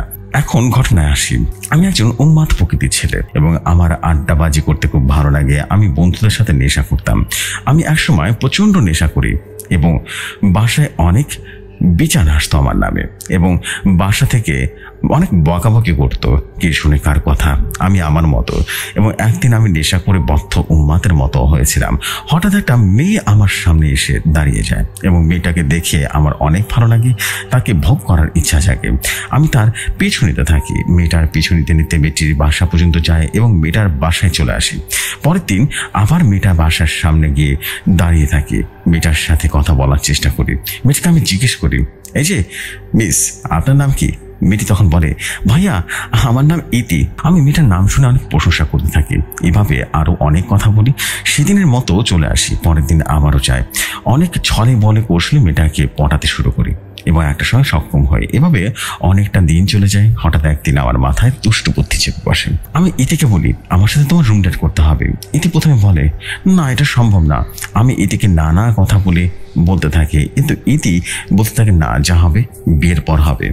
আমি অনেক কথা বলে ইতিকে রাজি করাই। পরে ইতি রাজি হয়ে যায়। তারপর কিছুদিন পরে আমরা রুম ডেট করে ফেলি। তার কিছুদিন পর থেকে আমি ইতির সাথে কথা বলা বন্ধ করে দিই। ইতি আমাকে বারবার কল করতে থাকে। আমি ইতির নাম্বারটা একটা সময় ব্লক লিস্টে ফেলে দিই। তারপরের দিন একটা রং নাম্বার থেকে কল আসে। আমি কলটা রিসিভ করতে ইতি বলতে থাকে হ্যালো, আমি ইতি, তোমাকে কতবার কল দিয়েছিলাম? তুমি তো ধরো না। তাই আমার বান্ধবীর নাম্বার থেকে তোমাকে কল দিয়েছি। আমি তখন বলি, দেখো ইতি, আমার তোমার সাথে আর সম্পর্ক রাখতে চাই না। আর অনেক খারাপ ব্যবহার করে কলটা কেটে দিই। ঘটনা শুরু মূলত এখান থেকে। তার কিছুদিন পরে আমি একটা স্বপ্ন দেখি। আমি একটা কালো আলখাল্লা পরা, লম্বা চড়া চেহারা দেখে বোঝা যাচ্ছে না। এবং আমার বাসা উঠানের কবুতরের হাতে দাঁড়িয়ে আছে। এবং আলখাল্লা পরা লোকটি আমার দিকে তাকিয়ে আছে। এক টান দিয়ে কবুতরটার মাথাটা ধর থেকে আলাদা করে ফেলল। দেখে আমি বিছানা থেকে লাভ দিয়ে উঠে যাই। আমি অনেক বেশি ভয় পেয়ে যাই। আমি ভাবতে থাকি, এটা কি দেখলাম আমি? আমি মনে মনে ভাবতে লাগলাম, এটা হয়তো নেশার প্রভাব হবে। এসব ভেবে আবারও ঘুমিয়ে পড়ি। সকালে ঘুম থেকে ওঠার পর স্বপ্নের কথা ফুরিয়ে যায়। আবারও আগের মতো আড্ডা দিচ্ছিলাম এবং বন্ধুদের সাথে আড্ডা দেওয়ার সময় হুট করে আমার রাস্তার পাশে চোখ চলে যায়। আপনাদের বোঝার সুবিধার্থে আমি আমার আড্ডা দেওয়ার জায়গাটার একটা বর্ণনা দিই। আমার মামার একটা কাঠের সামিল আছে এবং আমরা সন্ধ্যার পরে ওইখানে আড্ডা দিতে যেতাম এবং গাছের উপরে বসে বসে আড্ডা দিতাম। তার পাশে ছিল একটা রাস্তা। আবার ঘটনা আসে। রাস্তার দিকে তাকিয়ে দেখি একটা কালো আলখাল্লা বামন আকৃতির মতো কিছু একটা এবং আমাকে ইশারা করে ডাকছে। আমি ভালোভাবে বোঝার জন্য গাছ থেকে নেমে তাকিয়ে দেখার চেষ্টা করি। আবার আমাকে হাত ইশারা করে ডাকছে। আমি অন্য মনস্ক হয়ে লোকটার দিকে তাকিয়ে থাকি। এবং হঠাৎ আমার বন্ধুরা আমাকে ডাকতে থাকে, কিরে, অমনভাবে কি দেখছিস? আমি অনেক ভয় পেয়ে যাই। আমি বন্ধুদেরকে বলি, দেখ, ওই যে আমাকে ইশারা করে ডাকছে। কবির তখন বলে ওঠে, আমার বন্ধুর নাম কবির। তোর কি পিনিক বেশি হয়েছে নাকি হ্যাঁ? কি বলতো সব? বুঝলাম না তো। আমি বললাম, আরে না, আমি তো সত্যি দেখছি। ওই যে দেখ, দাঁড়িয়ে আছে। কবির তখন বলল এই, তোর কি নেশা কাটছে হ্যাঁ? কেউ তো নাই রাস্তায় আশ্চর্য পারো কার সাথে কথা বলতেছোস? কারে দেখতেছোস? আমি তাকে দেখি লোকটি হাওয়ায় মিশে গেল। আমি অনেক বেশি ভয় পেয়ে যাই। আমার বন্ধুদের কিছু না বলে ওখান থেকে চলে আসে। বাসায় এসে আম্মুকে বলি, আমার অনেক ক্ষুধা লাগছে, আমাকে ভাত খেতে দাও। আমি টেবিলে বসে আছি। আম্মু আমার জন্য ভাত নিয়ে আসে। আমার ভাত দিয়ে আম্মু চলে যায়। আমি ভাত মুখে দিতে দেখি ভাতের ভেতরে চুল, আর চুল গেছে হাত থেকে ভাতটা ফেলে দিই। আমি আর চিল্লাচিল্লি করতে থাকি এবং খাবারের ভেতরে এগুলো কি, এগুলো বলতে থাকি এবং আম্মু এসে বলতে থাকে কি হয়েছে? চিল্লাচিল্লি করতেছ কে আমি রাগারাগি করে বলি, খেতে দিব না, খেতে দিব না বললেই হলো। ভাতের ভিতরে এগুলা কি? আম্মু তখন বলে, ভাতের ভিতরে কি মানে? কি বলতেছস? আম্মু রেগে উঠে তখন, আর বলে, বাড়িতে কি খেয়েছিস হ্যাঁ? এসে উল্টাপাল্টা বলছিস আমি রাগ করে চলে আসি এবং বিছানায় এসে মোবাইল টিপতে টিপতে কখন ঘুমিয়ে যায় বুঝতেই পারিনি। হঠাৎ দেখি আমি একটা ফাঁকা রাস্তা দিয়ে যাচ্ছি এবং রাস্তা দিয়ে কিছু দূর যাবার পরে দেখি একটা বৃদ্ধ লোক হাতে একটা বাটি এবং ভিতরে আমাকে ফ্যাস ফ্যাস গলায় বলল দেখো, তোমার জন্য কি নিয়ে এসেছি? আমি বৃদ্ধটির কথা শুনে বৃদ্ধটির কাছে যাই এবং গিয়ে দেখি ভেতরে দেখতে পাই পচা গলা মাংস আর মানুষের চোখ আর মাথা। আমাকে এই বৃদ্ধটা বলে, বাবা, তোমার জন্য অনেক যত্ন করে রেখেছি। তুমি এগুলা খেয়ে নাও। আমি প্রচণ্ড ভয় পেয়ে যাই। শরীরতে ধর ধর করে ঘাম চলতে থাকে। আমি কাঁপা কাঁপা কণ্ঠে বৃদ্ধটিকে বলে উঠি, "আ- আমি আমি এগুলো খাব না। আমি এগুলো কেন খাব? এগুলো কি? এগুলো কি খাওয়া যায় নাকি? বৃদ্ধ লোকটি তখন কর্কশ গলায় বলল, তোমাকে খেতে হবে। আমি দৌড় দেওয়ার চেষ্টা করি, কিন্তু পা যেন নড়ছিল না। তখন বৃদ্ধটি ঘর থেকে আমার আচ্ছা তখন বৃদ্ধটি জোর করে আমার মুখের ভেতরে পচা গলা মাংসগুলা ঠুকাতে থাকে। আমি না না করে চিল্লাতে থাকি, তখনই আমার ঘুম ভেঙে যায়। আমি ঘুম থেকে উঠে দেখি আমার শরীর পুরোপুরি ঘেমে গেছে এবং শরীরে তর তর করে ঘাম চড়ছে এবং স্বপ্নটা মনে হচ্ছিল একদম বাস্তব। আমি ভাবতে থাকি, আমার সাথে কি হচ্ছে এসব? আর তারপরে আমি খেতে পারতাম না। খাইতে গেলে শুধু চুল পেতাম। আমি বমি করে ফেলতাম। আর বমি আসতো। দিন দিন শুকাতে থাকি, ঘুমাতে পারতাম না। ঘুমাতে গেলে মনে হয়, কে জানে, খাট কাঁপাচ্ছে। ভয়, ঘুমাতে পারতাম না। সবসময় মনের ভিতরে একটা অদ্ভুত ভয় কাজ করতো। আর সবসময় পেটে ব্যথা করতো। আর এই অবস্থা দেখে বাসা থেকে আমাকে ডাক্তারের কাছে নিয়ে যাওয়া হয়। ডাক্তারকে আমি ডেকে সমস্ত ঘটনা খুলে বলি। ডাক্তার আমাকে চেক আপ করে বলে, সব তো ঠিকই আছে। কিসের জন্য এমন হচ্ছে? আমি বুঝতে পারছি না। ডাক্তার তখন বলে, দেখেন, আমি ওষুধ দিয়ে দিয়েছি। কে দেখেন? আমি ওষুধ খাই, কোনো কাজ হয় না। দিন দিন আরও শুকাতে থাকি। একদম যেন কঙ্কালের মতো হয়ে যাচ্ছিলাম। আর প্রতি রাতে ভয়ঙ্কর ভয়ঙ্কর সব স্বপ্ন দেখতে পেলাম একদিন রাতে হুট করে আমার ঘুম ভেঙে যায়। আর ঘুম থেকে উঠে দেখি একটা ছায়ার মতো কিছু একটা আমার পায়ের কাছে দাঁড়িয়ে আছে। আর আমার দিকে তাকিয়ে তাকিয়ে মিটমিট করে হাসছে। আমি বলে উঠি, কে? কে ওখানে? ছাটি একটা ভয়ঙ্কর হাসি দিয়ে বলে, আমি আমার সাথে আয়। ছাটি আমার পা ধরে একটা টান দিয়ে বিছানা থেকে ফেলে দেয়। ছায়াটি আমার গলায় চাপ দিয়ে ধরে। আমি ব্যথায় ব্যথায় চিৎকার করতে থাকি বা একটা সময় জ্ঞান হারিয়ে ফেলি এবং সকালে আমার জ্ঞান ফিরতে দেখি মা বাবা আমার পাশেই দাঁড়িয়ে আছেন। আম্মুকে বলি, তোমরা এখানে কেন? আর আমার কি হয়েছে? তখন মা বলে, আমি বোঝার স্বার্থে আমার আম্মুর ভাষা বলছি। আমি আমি আমি আর তোর আপ্পু তোর চিৎকার শুনে তোর রুমে গিয়ে সামনে গিয়ে দেখি তোর দরজা ভেতর থেকে বন্ধ করা। তোকে অনেক টাকাটা কি করি, কিন্তু তুই দরজা খুঁজছিলি না। পরে আমি তোর আব্বুকে বলি দরজা ভেঙে ফেলতে। তোর আপ্পু তোর চাচাকে ডেকে দরজা ভেঙে দেখে তুই অজ্ঞান হয়ে পড়ে আছিস। তোর কিছুতে জ্ঞান ফিরছিল না। তখন ইমাম সাহেব এসে বলে, বাবা, তোমার কি হয়েছে বলো? আমি সব কিছু তখন খুলে পড়ি ইমাম সাহেব আমার কথা শুনে তেল পড়া এবং পানি পড়া দিয়ে বলে, এগুলো খাই আর শরীরে মাখো। এবং আমি বড় হুজুরের সাথে কথা বলে দেখি। বড় হুজুর কি বলে? এই বলে ইমাম সাহেব চলে যায়। এবং পরদিন ইমাম সাহেব আমাদের বাড়িতে আসে এবং এসে আমাদের ডাকতে থাকে। পরে ইমাম সাহেব যা বলে, তা শুনে আমার মা এবং বাবা হতভাগ হয়ে যায়। আমি আপনাদের বোঝার সুবিধার্থে ইমাম সাহেবের ভাষায় বলছি। আমি বড় হুজুরের কাছে গিয়ে সব কিছু বলে বলি। সাথে বড় হুজুরের জিনদের ডাকে। জিনদের বড় হুজুর সব বলে। তা শুনে কিছু সময় পর চলে যায়। এবং বড় হুজুর জিনরা ফিরে আসে এবং এসে বলে, আমি বোঝার সুবিধার্থে জিনদের ভাষা বলছি। ছেলেটিকে কালো জাদু করা হয়েছে। ছেলেটি ইটি নামের একটা মেয়ের সাথে সম্পর্ক করে তার, তাকে ভোগ করে আর তার সাথে কথা বলে বন্ধ করে দেয়। মেয়েটির রাগ করে এক তান্ত্রিকের মাধ্যমে কালো জাদু করে। জিনকে জিজ্ঞেস করা হয়েছে কালো জাদু কাটানোর উপায় কি? যেটি তখন বলে ছেলেটির খাটের নিচে চারটা তাবিজ আছে, তাদের বাসার পাশে একটা বাক্সে কবুতর রাখা আছে। কবিতা আছে কবুতরটা দিন দিন শুকাতে থাকে, তাই ছেলেটিও শুকাতে থাকে খেতে পারে না। আপনি কি সব কিছু উদ্ধার করুন, যা করার লাগে আমি দেখব। একটা কথা বলা হয়নি। হুজুরের জিন ছিল অনেক শক্তিশালী। হুজুরের নাম বলতে নিষেধ করেছি, তাই নামটা বললাম না। এই বলে ইমাম সাহেব থেমে যায়। পরে বড় হুজুর এসে সব কিছু নষ্ট করে দেয় এবং বিনষ্ট করে যায় এবং বলে, তুমি পাঁচ ওয়াক্ত নামাজ পড়বে, কখনো খারাপ কাজ করবে না। সব ছেড়ে দেবে, ঠিক আছে? আল্লাহর পথে চলে আসো। এই ছিল ঘটনা। যদি ঘটনাটি ভালো লাগে তাহলে অবশ্যই পড়ে শোনাবেন জসু ভাই। আর আমার কাছে আরও অনেক ঘটনা আছে। যদি সময় পাই আমি আবারও লিখে পাঠাবো। আল্লাহ হাফিজ।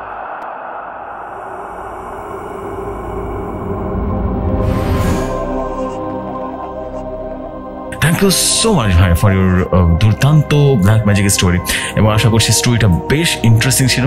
এবং সত্য কথা বলতে এই ধরনের স্টোরি আমি আগে কখনো মানে শুনিনি। এই জন্য বোধ নামটা উনি প্রকাশ করেননি। আর নামটা দেওয়ানোর দরকার নেই, ভাই। আমি নামটা না এখানে নাই দিলাম।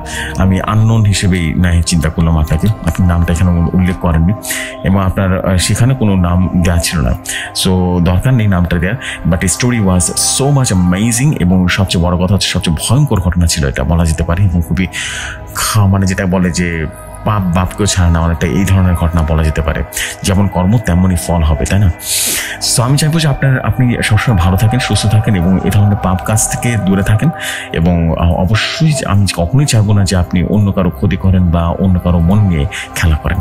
ভালো থাকেন ইনশাল্লাহ এবং থ্যাংক ইউ সো মাচ ভাই, আপনি আরও স্টোরি পাঠাবেন আপনি সবসময় স্টোরি শেয়ার করবেন ইনশাল্লাহ thank you so much love you bro আপনি ভালো থাকেন, সুস্থ থাকেন, এটাই আমার একমাত্র কামনা থাকবে। চলে যাই পরবর্তী ঘটনা, আশা করছি পরবর্তী ঘটনা সবার কাছে। দারুণ রকম সুন্দর লাগবে চলে যাই ঘটনায়।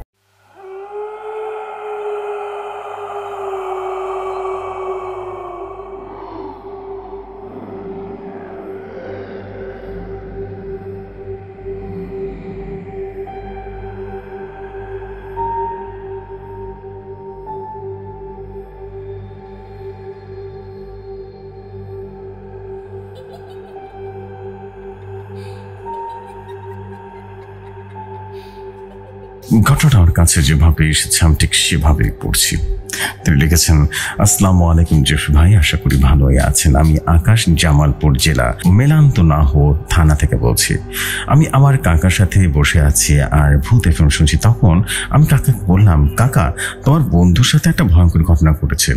আমার কাকা তখন বলল, হুম, ঘটনাটা শুনবি নাকি?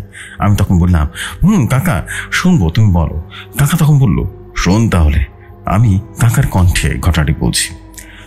আমি যখন ক্লাস সিক্সে পড়তাম, তখন আমার এক বন্ধু শরীফ সাথে আমার দুজন বন্ধু মিলে আমরা মোট চারজন মিলে আইসক্রিম খেতেছিলাম। আর একটা কথা, আমাদের স্কুলের সাথে একটা দুই তলা সরকারি হাসপাতাল ছিল। উপরের তলায় কিছু পুরাতন জিনিসপত্র রাখা আছে এবং ওখানে কেউ যায় না। ওষুধপাতের সব নিচে যায়। এবং আমরা শুনতাম ওই হাসপাতালের সাথে নাকি ভূত থাকে। এবং কয়েকজন মিলে সেখানে নাকি এখনও যাওয়ার জন্য চিন্তা করি এবং ওই হাসপাতালের ছাদে যাব। যাব তো যাবই, তাই কাজ আমরা আইসক্রিম খেয়ে রওনা দিলাম হাসপাতালের উদ্দেশ্যে এবং হাসপাতালটা খোলা থাকে সকাল দশটা থেকে দুপুর বারোটা পর্যন্ত।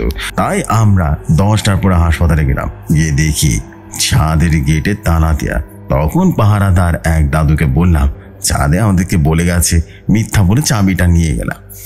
চাঁদি উঠে দেখলাম তিনটা কালো বিড়াল ঘুমিয়ে আছে। আমার বন্ধু শরীফ গিয়ে আমার একটা বাচ্চাকে শট করে মেরে ছাদ থেকে ফেলে দিল এবং বিড়ালের বাচ্চাটাকে নিচে পড়ে চিৎকার দিয়ে তারপরে ওই বাচ্চাটার দিকে তাকিয়ে দেখি বাচ্চা নাই, ওই জানি চলে গেল। এত তাড়াতাড়ি তারপর আমরা সবাই নিচে দেখি বিড়ালের বাচ্চাটা মরে গেছে এবং অবাক করা বিষয় হলো বাচ্চাটা তার মুখ থেকে রীতিমতো কালো রক্ত বেরোচ্ছে। এইটা দেখি ভীষণ ভয় পেয়ে গেলাম। তারপর যার যার মনের বাসা চলে গেলাম এবং আমার আর শরীফের বাসা পাশাপাশি আমরাও দুজনে চলে গেলাম। তারপর থেকে শরীফ চলল এবং চলাফেরা কেমন জানি একটা অস্বাভাবিক হয়ে গেছে। কারোর সাথে কথা বলে না, শুধু ভাত পানি কিছুই খায় না। দুই দিন পর শরীফের মা আমার কাছে এসে বলে, শরীফের জানে কি হয়েছিল দেখো। তোমার বন্ধু কিছু বলতে পারে কিনা? এবং আমি কিছু বলে না। দুই দিন ধরে না খেয়ে আছে। এই কথা শুনে আমি চিন্তা করে যাই। তারপর আমি শরীফের বাসায় গেলাম এবং আমি শরীফকে বললাম, ওই, বন্ধু, কি হয়েছে? হ্যাঁ? তুই ভাত টাত খাস না নাকি? হ্যাঁ? কি হয়েছে? আমাকে বল। শরীর তখন বলল অনটা মোটা কণ্ঠে বলল, খুব কষ্ট দিয়ে মারবো, খুব কষ্ট দিয়ে মারবো। এইটা বলে কান্না করতে থাকে। তারপর আমি শরীফের মাকে হাসপাতালের সমস্ত ঘটনা খুলে বলি। এই শুনে শরীফের মা কান্না করতে থাকে আর শরীফের বাবাকে ফোন দিয়ে বাসায় আসতে বলে। এবং শরীফের বাবা এলাকার মসজিদের ইমাম সাহেবকে সাথে করে নিয়ে আসে। এবং ইমাম সাহেব এসে দেখে বলে যে, এটা আমার কাজ না। হুজুরের একটা ঠিকানা দিচ্ছে, তাড়াতাড়ি চলে যা। আমরাও সে ঠিকানা মতো হুজুরের কাছে যাই হুজুরকে সমস্ত ঘটনা খুলে বলি। তারপর হুজুর শরীফের বাবাকে বলে আচ্ছা আপনি আপনি যান। আমি কাল সকালে আপনার বাসায় যাব না। এই কথা বলে শরীফের বাবা বাসায় পাঠিয়ে দিই। তারপরের দিন হুজুর বাসায় বাসায় আসে। শরীফের বাবা এই কথা বলে শরীফের বাবাকে বাসায় পাঠিয়ে দিই। তারপরের দিন হুজুর বাসায় আসে। এবং শরীফের বাবা বলল, হুজুর, আপনি আইসেন? দেখেন আমার ছেলেটা তিন দিন ধরে না খেয়ে করে রুমের ভিতরে এক কোনায় বসে আছে। তারপর হুজুর রুমে ঢুকতে শরীফের ভেতর সেই জিনটা বলে উঠল ওই হুজুর, তুই এখানে কেন? তুই চলে যা, আমার কাছে বাধা দিস না। হুজুর তখন বলল, তুই কে? আরে ছেলে, এখানে বসে দিচ্ছিস হ্যাঁ? জিনটা তখন বলে উঠল, আমার ছেলেটাকে মারেছে। ছেলেটাকে আমি ছেড়ে যাব না। হুজুরটা তখন বলল, দেখ, এই ছেলে ভুল করে বলছে ওই ক্ষমা করে দে। জিনটা তখন বলল এই ছেলে চাউমিন না মেরে চাবো না তুই যা করার কর। তখন হুজুরটি দোয়া পরে আর জিনটার উপরে পানি ছিটা দেয়। তখন চিন্তা চিৎকার করে আর বলে, থম থম থম, আমাকে কষ্ট দিস না। তখন হুজুর বলে, তুই চলে যা। জিনটা তখন বলে বাচ্চাটাকে মেরে ফেলেছে আমার। আমার কষ্ট লাগে না, আমার বাচ্চাকে মেরে ফেলেছে। এই কথা বলে কান্না করতে থাকে। হুজুর জিনটাকে বুঝিয়ে সুঝিয়ে বিদায় করে দেয়। আর আমাদেরকে বলে, জিনটা একটা মুসলিম জিন, খুব ভালো জিন। এবং এই জিনটা তার বাচ্চা মারাতে জিনটা অনেক কষ্ট পেয়েছে। তারপর শরীরকে পানি পড়া এবং তাবিজ দিয়ে দেয়। তাবিজটা কোমরে বেঁধে দিতে পারে। এই ছিল আমার কাকার মুখ থেকে শোনা ঘটনা। ভালো লাগলে ঘটনাটি পড়ে শোনাবেন। সময় পেলে আরও ঘটনা রেখে পাঠাবো। ভর্তি কথা দীর্ঘ শীঘ্র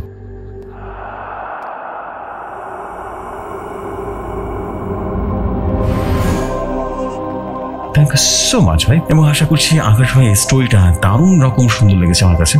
এবং আমি বিশ্বাস করি যে সবার কাছে ভালো লেগেছে, ভালো লাগার মতো একটা স্টোরি ছিল।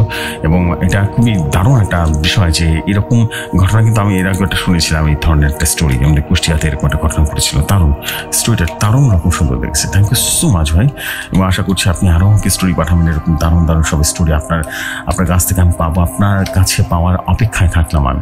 খুব সুন্দর ছিল স্টোরিটা থ্যাংক ইউ সো মাচ এবং ছোটো স্টোরি খুবই ছোট স্টোরি বলা যেতে পারে। দারুণ ছোট স্টোরি বলা যেতে পারে, কিন্তু খুব সুন্দর গোছানো ঘটনা ছিল। এরকম গোছানো ঘটনা খুব ভালো লাগে ভাই। থ্যাংক ইউ সো মাচ এবং আশা করছি আপনি আমাকে আরও স্টোরি পাঠাবেন।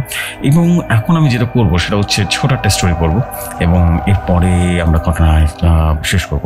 ছোট স্টোরিটা যদি বলি তাহলে এটা অনেকটা এরকম। ঘটনা চলে যায়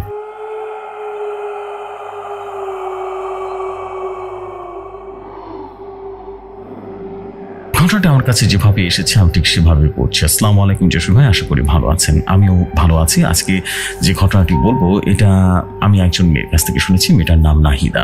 সবার বোঝার সুবিধার্থে আমি মেয়েটার মতো করে বলছি, বলছেন নাহিদা। আমার নাম নাহিদা, আমি সুনামগঞ্জে থাকি। এবং আমি যখন আচ্ছা আমি তখন অনেক ছোট, দুই হাজার ষোলো সালের দিকের ঘটনা। এবং আপনারা নিশ্চয়ই জানেন যে গ্রামের কিন্তু ওয়াশরুমগুলো একটু দূরে হয়। আমি একদিন ওয়াশরুমে যাওয়ার জন্য তৈরি হয়েছি এবং রাতে উঠেছিলাম।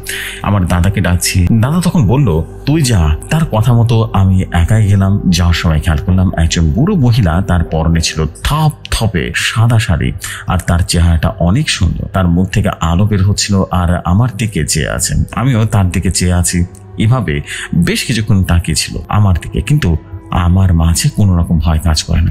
কারণ তখন আমি অনেক ছোট, তারপর আমি ওয়াশরুমে গেলাম এবং ওয়াশরুমে কোনা দিয়ে দেখলাম আমার দিকে তাকিয়ে আছে বুড়িটা। তারপর আমি ওয়াশরুম থেকে বের হয়ে দেখি বুড়িটা আমার দিকে তাকিয়ে আছে। তারপর আমি রুমের দিকে হাঁটলাম, বুড়িটা আমার পিছিয়ে পিছিয়ে আমার রুমের সামনে চলে আসলো। আমি দরজা লাগিয়ে দিয়েছি এবং দরজার কোনা দিয়ে দেখলাম বুড়িটা দাঁড়িয়ে আছে। আর বুড়িটার পুরো শরীর আলোকিত হয়ে যাচ্ছে। এ ছিল ঘটনা। ঘটনাটি ভালো লাগলে পড়ে শোনাবেন।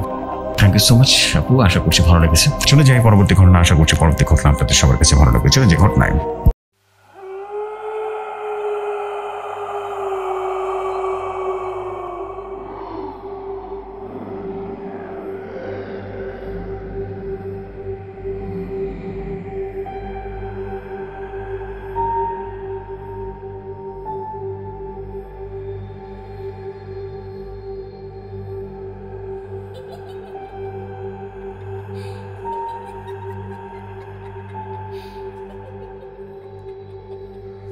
ঘটনাটা আমার কাছে যেভাবে এসেছে, আমি ঠিক সেভাবেই পড়ছি। তিনি লিখেছেন, গল্প নৈশ প্রহরী।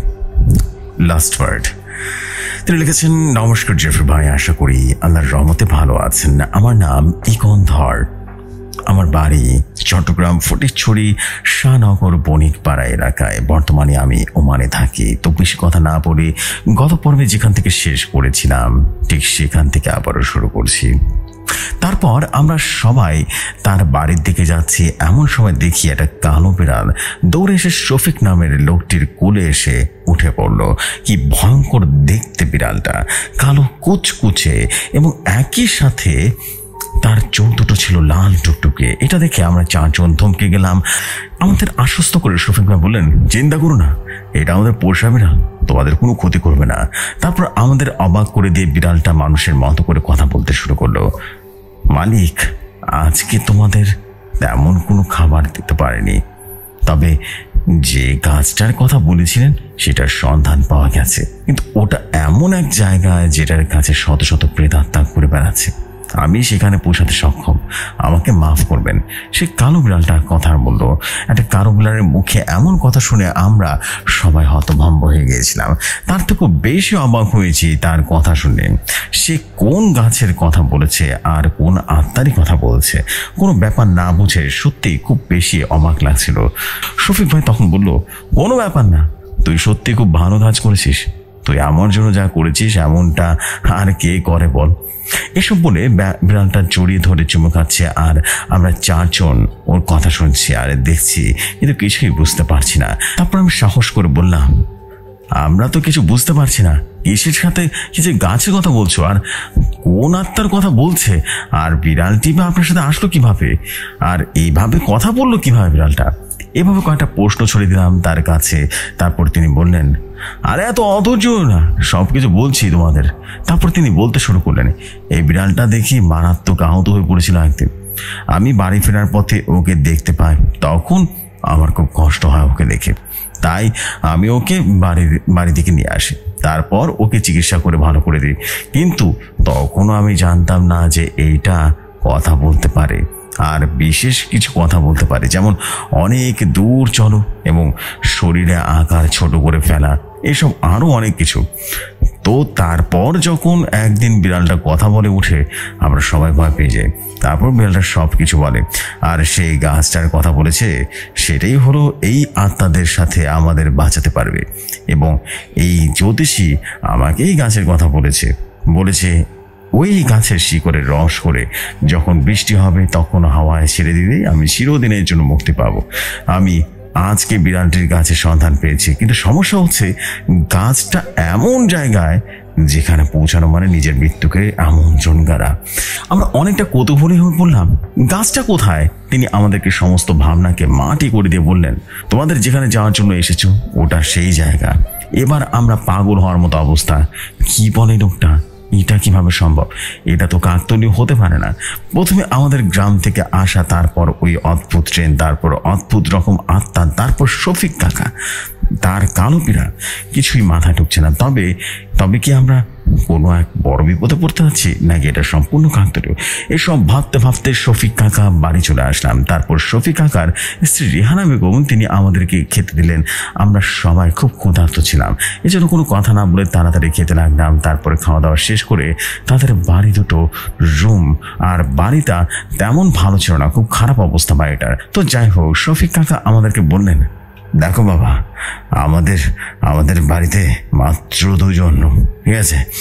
এখন তোমাদের একটু কষ্ট করে চারজন একসাথে থাকতে হবে, ঠিক আছে? আমরা তখন বললাম আচ্ছা কোনো ব্যাপার না, এটা নিয়ে চিন্তা করতে হবে না, আমরা পারব। তারপর আর কি করার, আমরা সবাই একটু রুম শেয়ার করে থাকছি, আর আমাদের অনেক কাছের বন্ধু হওয়াতে আমাদের কাছে কোনো ব্যাপার না, কিন্তু আমাদের ঘুম আসছে না। আমরা সবাই মিলে গোল হয়ে বসে আলোচনা করছি, কীভাবে কি করা যাবে। আর কি বলল একই কথা বলছি আর বিড়ালটা যেহেতু জায়গা চেনে, তাহলে আমাদের পেছনে পেছনে যাব এবং বিড়ালটাকে নিয়ে যাব। আমাদের, আমরা এরকম বলা বলি করছি যে খারাপ বলিস নি বিষয়টা। এমন করে হয়তো সহজে পৌঁছাতে পারব। এরপর আমাদের সবার শরীরটা খুব দুর্বল হয়ে যায় এবং আমাদের ঘুম আসছিল খুব। কিন্তু আমরা চারজন এমন লোক যে আমরা যতক্ষণ রহস্য উদ্ঘাটন করার জন্য কাজ শুরু করি ততক্ষণে প্রতিমধ্যে যার সাথে দেখা হোক না কেন, সে যতই উপকার উপকার করুক না কেন, আমরা কাউকে বিশ্বাস করি না। আজকেও তার ব্যতিক্রম হল না। আমি তখন বললাম, সবাই ঘুমাবো, কিন্তু সেটা সবাই একসাথে না, পারাক্রমে ঘুমাবো। তো যাই হোক, আমরা রাত পারাক্রমে ঘুমালাম এবং কোনো সমস্যা হলো না। তো এর পর দিন আমি শফিক কাকাকে বললাম যে আমরা এখন রওনা হব, সে আমাদের কাঙ্ক্ষিত গন্তব্যে। তবে আমাদের, আপনার সাহায্য লাগবে। আপনার বিড়ালটাকে বলবেন যেন আমাদের, আমাদেরকে সহজ পথ দেখায় দিতে আর আমাদের টুকটাক সাহায্য করতে। শফিক কাকা বললেন আচ্ছা ঠিক আছে। রেয়ানা, সমস্যা নেই। কিন্তু আরেকবার ভেবে দেখো, জায়গাটা কিন্তু একটু সুবিধার না। তোমরা কিন্তু তোমাদের মৃত্যুকে নিজে আমন্ত্রণ করে এনেছো।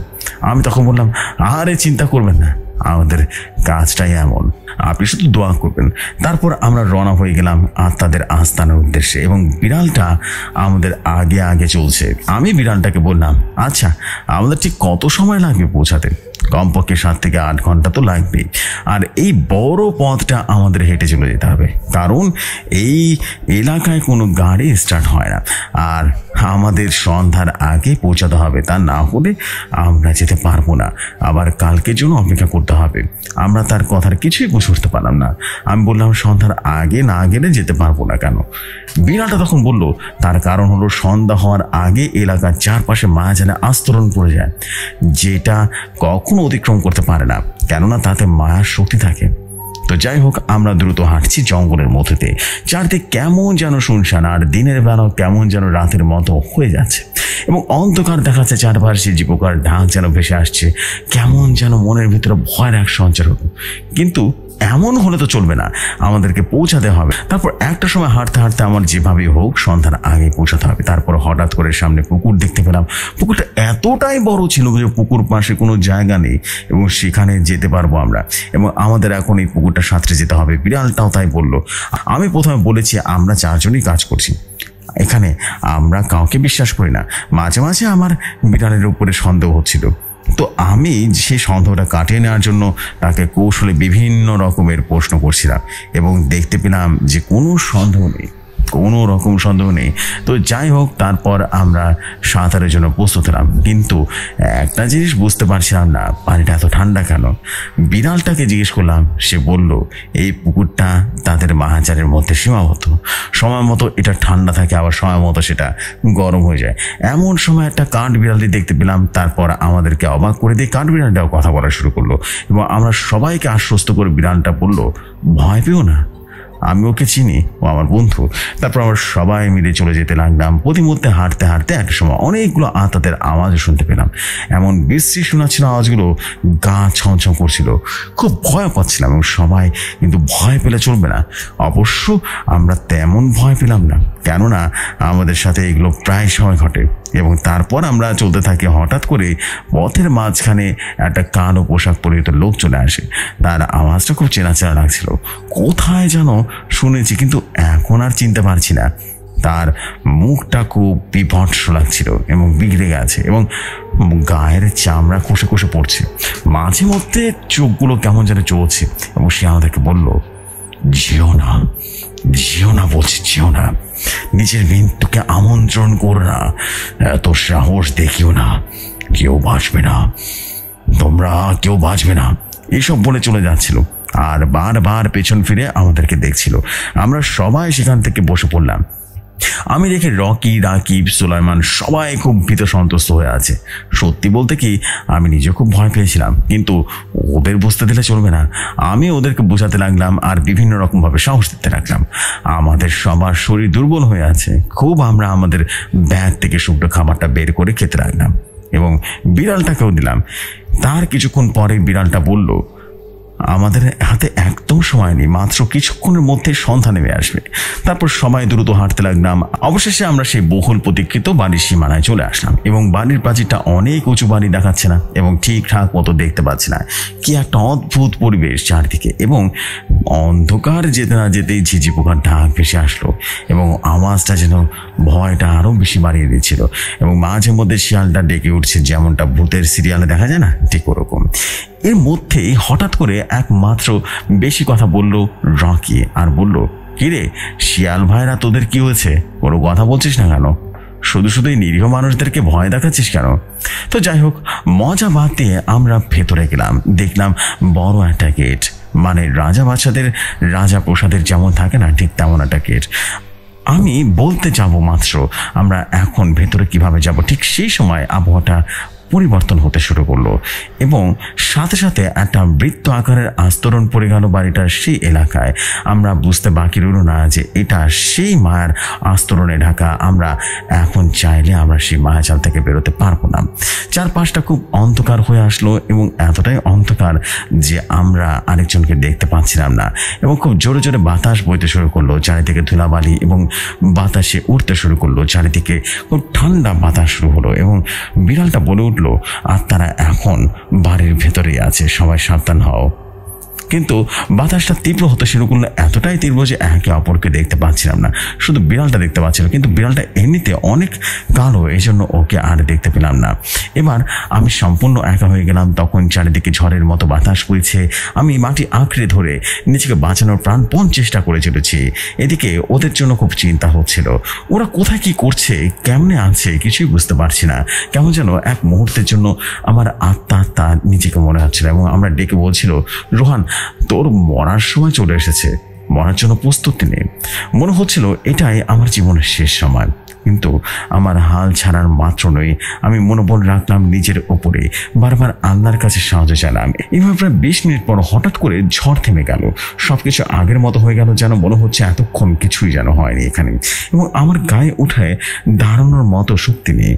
খুব জোরে চেষ্টা করে উঠে চেষ্টা করলাম, কিন্তু তখনই আমার নজর চলে গেল সেই মায়া আস্তরণের দিকে। আমি তখন স্পষ্ট বুঝতে পারলাম, আমি এখনও চাইলে আর বের হতে পারব না।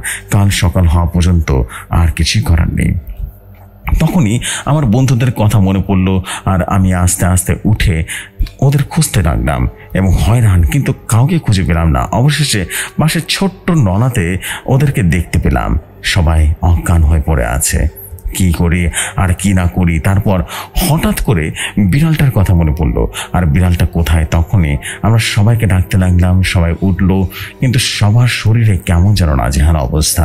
এবং যাই হোক, তারপর আমরা সবাই মিলে বিড়ালটাকে খুঁজতে খুঁজতে প্রাসাদের প্রাচীরের উপরে উঠে গেলাম এবং অজ্ঞান অবস্থায় পেলাম। কিছুক্ষণ পর বিড়ালটার জ্ঞান আসলো সত্যি বলতে আমাদের খুব খারাপ লাগছিল এবং বিড়ালটার জন্য খুবই বেশি খারাপ লাগছিল।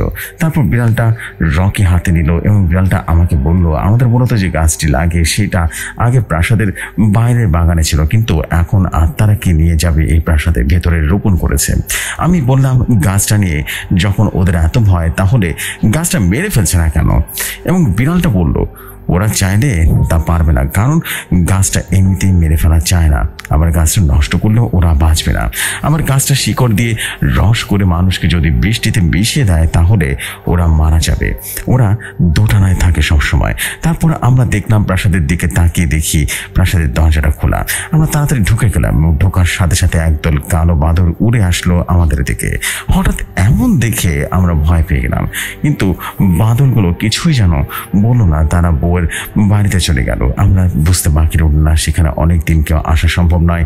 তাই যত যাই হোক না কেন তারপর আস্তে আস্তে ভেতরে চলে গেলাম এবং বাড়ির ভেতরে সমস্ত জিনিসপত্র, ওরা আর অনেক পুরনো জিনিসপত্র দেখলাম এবং বাড়ির দেওয়ালগুলোতে কিছুই যেন ছবি ঠিক টাঙানো ছিল এবং সেগুলো বোঝানো যাচ্ছে না সব কিছুই পড়ে গেছে এবং বাড়ির অনেক বড় ছিল এবং বাড়িটা সদরে ঠিক মতো সেই গাছটি পড়ে আছে এবং গাছটি আশেপাশে কেউ দেখতে না পেয়ে অবাক লাগল, তারা গাছটি এভাবে রেখে গেছে কেন? এটা নতুন কোনো ফাঁদ নয় তো তো যাই হোক আমরা সাত পাঁচ না ভেবে চারজন চারদিকে ছড়িয়ে পড়লাম। আমি আর বিড়ালটির উপরে ঘরগুলো গেলাম এবং দুপুরের ঘরগুলো জিনিসপত্র সবই পড়া ছিল একেবারে। তবে কাঠের কিছু পুতুল আছে সেখানে এখন অক্ষত অবস্থায়। কিন্তু জিনিসগুলো বুঝলাম না, আত্মাগুলো হঠাৎ সবাই কোথায় চলে গেল? কিছুই তো বুঝতে পারলাম না। এটা একটা জিনিস লক্ষ্য করলাম, কাঠের বোতলগুলো খুব সযত্নে রাখা ছিল। হঠাৎ আমার মনে হলো সেই গ্রামের চায়ের দোকানের কথা। চাষা তোর বলেছিল, সেখানে একটা টিউবওয়েল আছে, সেখানে টিউবওয়েল দেখতে পাচ্ছি না। আমি নিচে গিয়ে সবাইকে সেই কথা মনে করে দিলাম। রকি বলে উঠল, তাই তো টিউবওয়েলটা কোথায়? তো তারপর আমরা নিচে চলে গেলাম এবং টিউবওয়েলের সন্ধানে গেলাম এবং টিউবওয়েলের বাগানের এক পাশে রয়েছে। অবাক করার বিষয়, চিঠি কেউ চাচ্ছে না, কিন্তু তারপর টিউবওয়েল দিয়ে পানি পড়ছে। আর সেই পানি বাগানের গাছগুলোতে ছড়িয়ে পড়েছে, এটা দেখে আমরা খুব বেশি ভয় পেয়ে গেলাম এবং সেটা কীভাবে সম্ভব হলো? আমরা সবাই আর এক মুহূর্ত দেরি না করে ওখান থেকে অন্য পাশে চলে গেলাম এবং সবাই বললাম, দেখো দেখো, ওখানে যা হয়েছে, এগুলো একটা ফাঁদ মনে হচ্ছে। আমাদেরকে ফাঁদে পড়লে চলবে না। আমাদেরকে বুদ্ধিমত্তার সাথে এসব করতে হবে।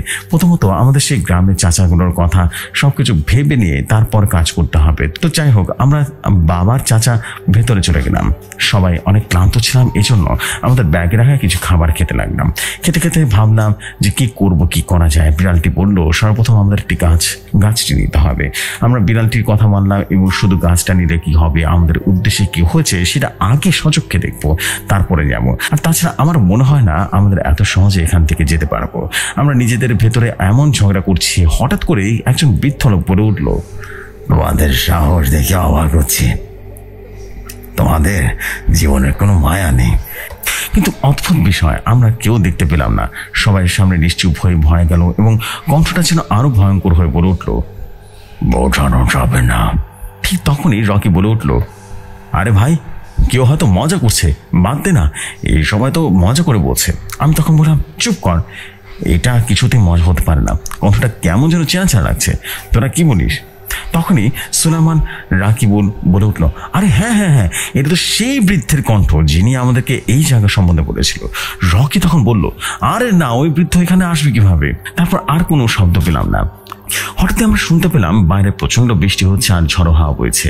এটা দেখে আমরা সবাই আবারও বাইরে চলে গেলাম এবং গিয়ে দেখলাম আবারও আগের মতো শুরু হয়ে গেছে। এটা দেখে আমরা প্রচণ্ড ভয় গেলাম ভয় পেয়ে গেলাম। আবার বাড়ির ভেতরে দৌড়ে চলে আসলাম। এসে দেখি সবাই বসে আছে। এটা দেখে প্রচণ্ড চিন্তায় পড়ে গেলাম যে এখন কি করা যায়। কিন্তু তারপর আমাদের সমস্ত আশ্চর্যের মাত্রা যেন শেষ হয়ে যায়। আমরা দেখতে পাই আমাদের সামনে অনেকগুলো কাটা মাথা। নিজেরা হেঁটে হেঁটে হাওয়ায় বেসে যাচ্ছে এবং তাদের পা দেখা যাচ্ছে না, হয়তো দেখা যাচ্ছে না। কিন্তু পেটের ভেতর থেকে নাড়ি ফুড়ি বেরিয়ে আছে। এইটা দেখা মাত্র বিড়াল আর তার আকার ছোট হতে শুরু করল। এবং ধীরে ধীরে লুকিয়ে পড়ল। কিন্তু আমরা সবাই এটা দেখে অজ্ঞান হয়ে পড়ে গেলাম। এরপর আর কিছুই মরেনি এভাবে রাতটা কেটে গেল। তারপর সকালে যখন ঘুম ভাঙলো ঘুম ভাঙলো তখন দেখি বিড়ালটা আমাদের গায়ে পানি ছিটাচ্ছে। আমরা শরীর যেন প্রচণ্ড ব্যথা হয়ে গেল। কেউ নড়তে চড়তে পারছিলাম না। তারপর যখন একটু সুস্থ হলাম, কিন্তু তাকে দেখলাম আমাদের শরীরে কোনো রকি নেই, তখন আমি বিড়ালটাকে জিজ্ঞেস করলাম, কি হলো ব্যাপারটা? তখন বিড়ালটি কিছু না বলে মুখ লুকিয়ে ওদের বসে পড়ল। আমি আবারও জিজ্ঞেস করলাম, বিড়ালটি কিছু বলল না? তারপর বলল যে রকিকে ওরা নিয়ে গেছে? আমি বললাম, নিয়ে গেছে মানে? কি বলছেন? বিড়ালটা তখন বলল আত্মারা নিয়ে গেছে। কীভাবে নিয়ে গেল? রকি তো আমাদের সঙ্গে অজ্ঞান হয়েছিল, তাই না? তখন বিড়ালটি বলে উঠল হ্যাঁ অজ্ঞান হয়ে গেছিল, তবে ও কিছু সময়ের জন্য আবারও জ্ঞান ফিরে আসে। কিন্তু তখনই, একা কাউকে জিজ্ঞেস করল, কি ব্যাপারটা? তোরা এখানে কি করছিস? মরতে চাস কিনা? তখনই রকি ফাঁসদম করে বলল, মরতে আসেনি, তোদের নাচ দেখতে এসেছি। আত্মাটা প্রচণ্ড রেগে গেল। এই কথা বলার কারণে রকিকে অন্য কোথাও নিয়ে গেছে। তারপর আর রকিকে দেখতে পায়নি। কি আর বলব? সবসময় বেশি কথা বলে। এবার বললাম, আরেক চিন্তায় রকিকে নিয়ে। রকিকে পাবো কোথায়? তারপর আমরা বাড়ি থেকে বের হয়ে বাড়ির চারপাশে বিভিন্ন জায়গায় খুঁজতে লাগলাম, কিন্তু কোথাও খুঁজে পেলাম না। এবং মনে মনে ধারণা করলাম, নিশ্চয়ই রকি আত্মারের কাছে আছে, খুঁজে পাওয়া যাবে না। অবশ্যই খুঁজে পাওয়া যাবে না তাকে এইভাবে করে। এরপর হঠাৎ করে সন্ধ্যা হয়ে গেল এবং ঘড়ির দিকে তাকিয়ে দেখি ঘড়িটা কাজ করছে না। বিড়ালটা বলে উঠল আজকে রাতটা খুব ভয়ঙ্কর হবে। আজকে অমাবস্যার রাত। আজকে আত্মাদের শক্তি দ্বিগুণ হয়ে উঠবে। আমাদের সাবধানে থাকতে হবে। আমরা তাড়াতাড়ি করে ভ্যানের ভিতরে চলে গেলাম। আমরা সবাই এক জায়গায় বসে আছি। রকে নিয়ে যাওয়ার পর কেউ কাউকে আলাদা করে দিচ্ছে না। সবাই একসাথে বসে আছি। এমন সময় হঠাৎ করে আগের সে আওয়াজটা শুনতে পেলাম। কেউ একজন যেন বলে উঠল, কি ব্যাপার? রকি, নিজেদের খুব বাহাদুর মনে হচ্ছে। তোমাদের এখানে আসার ভাবাটা উচিত হয়নি। কেন আসলে? এখানে নিজেদের খুব বাহাদুর মনে করো? এবার আমি আর চুপ করে থাকতে পারলাম না। আমি বলে উঠলাম এ তুমি? সাহস থাকলে সামনে এসে দেখাও। তারপর আর আওয়াজটা শুনতে পেলাম না, আর সারা ঘর খুঁজলাম, কিন্তু কোথাও পেলাম না। তারপর হঠাৎ করে একটা বাঁশির শব্দ শুনতে পেলাম মানে দারোয়ান যেভাবে বাঁশি বাজায় সেভাবে। আর তার এক মিনিট পরে টিউবওয়েলে চাপার শব্দ পেলাম।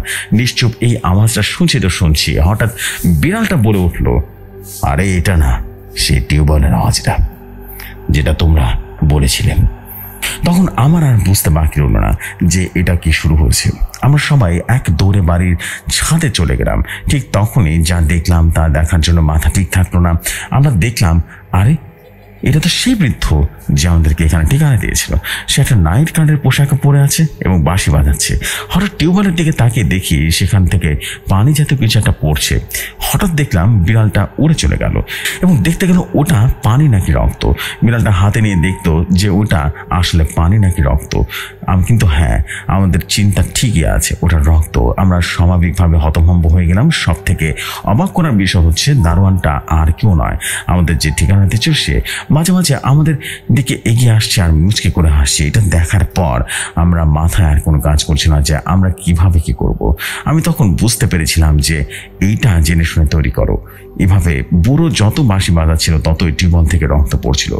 এরপর শুরু হলো আরেক কাণ্ড এবং বাড়ির চারপাশ থেকে আত্মাদের গোঙানির শব্দ আসলো এবং চারপাশের পরিবেশটা এতটাই ভয়ঙ্কর ছিল যে খুবই ভয় পেয়ে গেলাম। তারপর হঠাৎ করে দেখতে পেলাম বাতাসের সঙ্গে খুব জোরে একটা ছাদে একজন নামলো এবং সাথে সাথে আমাদের নজর সেদিকে গেল এবং কালো ধোয়ার মতো অবুক মানুষের আকৃতি ধারণ করল। আমরা সবাই নীরব হয়ে সেদিকে চেয়ে আছি এবং অবুকটা কোনো কথা বলছে না, শুধু হাসছে।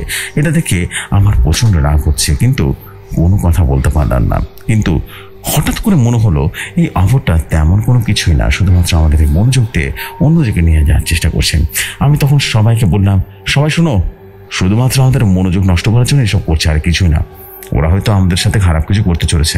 আমার এমন কথা শুনে অবরটা কেমন করে যেন খুশি হলো না। সে খুব গর্জন করতে করতে আমার সাথে অদৃশ্য হয়ে গেল। আমরা আর মুহূর্ত দেরি না করে নিচে চলে গেলাম, কিন্তু নিচে যাওয়ার সাথে সাথে দেখা গেল পুরো হল রুমটা যেন আত্মাদের বেনা পড়ে গেছে এবং সেখানে সাথে সে বন্ধু রকি কেউ যেন রাখা হয়েছে। এটা দেখে আমরা সবাই লুকিয়ে পড়লাম, কিন্তু আমার কেন জানি মনে হচ্ছে আমাদেরকে লুকিয়ে কোনো লাভ হবে না, কারণ এখানে সবটাই আমার, তাদের বসবাস। তারপর দেখলাম রকিকে একটা আত্মা কি যেন জিজ্ঞেস করছে। আত্মাটি গভীর কণ্ঠে বলল, তোদের বাড়ি কোথায়? রকি চুপ করেছিল। তখন সে আত্মাটি আবার বলল, কথা কি কানে যায় না কি বললাম? শুনতে পাসনি? এতটুকু বলেই রকিকে সজোরে একটা থাপ্পড় মারলো। এত জোরে মারলো যে রনের বাঁধন খুলে গিয়ে রনি কয়েক গজ যেন ধরে পড়ল এবং মুখ থেকে রক্ত গড়িয়ে পড়ল। তখনও রকি চুপ করে আছে, কোনো কথা বলছে না, হয়তো ভাবছে, কিছু বললে যদি কোনো সমস্যা হয় বা প্রবলেম হয়, তাই ভেবে হয়তো চুপ করেছিল। ওর জন্য খুব খারাপ লাগছিল কি করে বুঝে উঠতে পারলাম না, এমন বন্ধু পাওয়া যে ভাগ্যের ব্যাপার। নিজের জীবনের কোনো পারোয়া করছে না সে, বসেও থাকছে না এবং কি করব সেটাও বুঝতে পারছে না। আত্মাটি তখন বলল, বস, ওইভাবে বলবে না। ওকে কি মেরে ফেলব বলেন? কিন্তু তাদের বসকে দেখতে পাওয়া যাচ্ছে না, আড়ালে লুকিয়ে আছে, মনে মনে কয়েকটা গালি উঠিলাম। কিন্তু তখনই রাকিব আর সোলাইমান জোর করে যেতে লাগল, আর ওদেরকে থামিয়ে বললাম বাগনামো করিস না, এভাবে আর পারব না ওদের সাথে। ওদের ক্ষমতা অনেক বেশি আমাদের থেকে, ঠিক আছে? আমরা পারব না ওদের শক্তির সাথে, বুদ্ধি খাটিয়ে কাজ করতে হবে। তারপর সবাইকে আমরা লুকিয়ে বললাম তারপর আত্মাটাকে দেখলাম একটা জানি পড়ে রকির সামনে গেল এবং বলল, তোকে শেষবারের মতো জিজ্ঞেস করছি, তোরা কে? আর কোথা থেকে এসেছিস? আর কি জন্য এসেছিস? বলে দে নয়তো তোকে মেরে ফেলব। এটাই শেষ সুযোগ। কিন্তু রকি কোনো কথা বলছে না, চুপ করে আছে এবং ওকে দেখে খুব খারাপ লাগছে, কিন্তু কিছু করার নেই। আমি রকি আর সুলাইমানকে বললাম, দেখ তোরা এটা কি ভাবছিস আমি জানি না, কিন্তু আমি জীবনে অনেক ভয় পড়েছি আমি রকিকে ভালোবাসি না, এমন ভাবিস না। আমার যতই চেষ্টা করি না কেন, ওদের সাথে পেরে উঠতে পারব না। ওটার সংখ্যা যেমন বেশি, শক্তি তো অনেক বেশি। আর তাছাড়া যদি আমরা এখন যদি পাগনামো করি, ওকে বাঁচাতে চাই, তাহলে কিন্তু আমরা সবাই মারা পড়ব। আর মারা পড়ার ভয় করছি না। কিন্তু আমরা মারা গেলেও আমাদের পরে আবার কিন্তু কেউ না আবার ওদেরকে মেরে যাবে, বুঝলি? কখনো থামবে না এই খেলা এসব বলে রাকিব আর সুলাইমানকে বোঝাতে থাকলাম। এর মধ্যে হঠাৎ করে আতাটা রকির গলা ধরে একেবারে মাটি থেকে উপরে মারল এবং টেনে উঠালো। তারপরে একটা জোরে হেঁচকি টান দিল এবং রকিকে সজরে ফেলে দিল মাটিতে। কিন্তু এ কি? এত রক্ত কোথা থেকে আসছে? তারপর রকির দিকে তাকিয়ে দেখে আমাদের সারা শরীর যেন শিউরে উঠল। দেখলাম রকির মাথাটা নেই, মাথাবিহীন শরীরটা পড়ে আছে এবং তার মানে রকি মরে গেছে এবং রকির দেহটা কেমন যেন ছটফট করছে আর রক্ত ফিনকি দিয়ে উঠছে। এসব দেখে রকি আর সুলাইমানের সাথে অজ্ঞান হয়ে পড়ল। কিন্তু নিজেকে কন্ট্রোল করার চেষ্টা করছি। কারণ আমার কিছু হলে আমরা সবাই মারা পড়তে পারি। কোন রকমে নিজেকে ধরে রাখার চেষ্টা করছি, এমন সময় দেখতে পেলাম রকির বডিটা টুকরো টুকরো করা হচ্ছে, যেটা দেখে আমার পক্ষে সম্ভব হচ্ছিল না। দেখা এমন চোখ বন্ধ করে ফেললাম। নিজের উপরে খুব ঘৃণা হতে লাগল। আমি বেঁচে থাকতেও আমার বন্ধুর এই নৃশংসভাবে মারতে হলো। এসব ভাবতে ভাবতেই চোখের কোনো এক ফাঁকে রীতিমতো পানি গড়িয়ে পড়ল। জীবনে প্রথমবার এমনভাবে মানুষ মারতে দেখলাম। এবং মরতে দেখলাম যেটা কোনো অংশে মার্ডারের থেকে কম নয়, শরীরটা খারাপ করে উঠল এবং চোখ বন্ধ করে আনছি, কিন্তু কিছুই করার নেই। আমাকে সজাগ থাকতে হবে। তারপর দেখলাম সব আত্মারা সেই মাংসগুলো খাচ্ছে। যাই হোক, নিজেকে মনে শক্তি করে রাখলাম। আর ভাবতে লাগলাম, কি করব? জীবনে অনেক আত্মাদের দেখেছি, কিন্তু কখনো এমন পরিস্থিতিতে পড়িনি। তারপর শুনতে পেলাম, বস বলছে, ওই বাতাটা কোথায় রে? তখন আত্মাগুলো বলল হ্যাঁ বস আমি যত্ন করে রেখে দিয়েছি। তারপর আত্মাটা হাসতে হাসতে বলল, বস, আজকে তো আমাদের মাথার ছত্রিশ মুন্ড পরিণত করা হবে, তাই না? আমাদের মাথা আবারও ফিরে আসবে, ভাই, তাই না? একটা অট্ট হাসি ওদের বসকে বলল পুচকো, ঠিক বলেছিস। আজকে পূর্ণিমার রাতে আমরা আমাদের মাতাকে ফিরে পাবো। এতটুকু বলে সবাই মাটিতে ঝুঁকে প্রণাম করার মতো বলল, জয় মাতার জয়। তারপর ওরা ওদের বস বলল, চল, সবাই মাতার কাছে যাই। তাকে প্রণাম করে সুসংবাদটা দিয়ে আসি। তারপর একে একে সবাই চলে গেল, কিন্তু আমি বুঝতে পারছিলাম না তার কোন মাতার কথা বলছিল, কার শক্তিপূর্ণ হয়ে যাবে, আর ছত্রিশ মুন্ড কার, এটার মানেটা কি? এসব প্রশ্নের উত্তর হচ্ছে কিন্তু কিছুই যেন করতে পারছিলাম না, হঠাৎ করে মনে পড়ল রকির মাথাটার কথা। আমি নিজেই নিজেকে বলতে লাগলাম, আরে, ওরা তো বলেছিল না যে রকির মাথাটা নিয়ে ওদের কোনো মাথার কাছে নিয়ে পূজা করবে? আর ওরা বলেছিল যে আজকে মাথার ছত্রিশ কুণ্ড পূরণ হবে।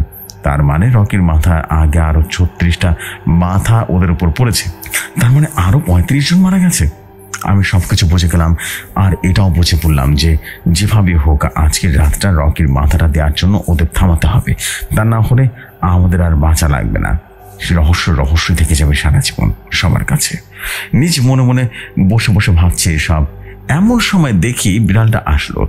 যাক, ভালোই হয়েছে, বিড়ালটা এসেছে। তারপর বিড়ালটা ওদের এমন পড়ে থাকতে দেখে জিজ্ঞেস করল, কি হয়েছে এখানে? তারপর আমি ওকে সব কিছু বুঝিয়ে বললাম, তারপর আমি জিজ্ঞেস করলাম যে, রফিক কাকার কি খবর? ওদিকে বিড়ালটা তখন বলল অবশ্য আগের মতোই। আমাদের এই গাছে শিকড় হলে হবে। আর হ্যাঁ একটা কথা, আজকেই শেষ দিন। এই গাছের শিকড় নিতে হবে, তা না হলে সব কিছু সারা জীবনের জন্য একদম শেষ হয়ে যাবে।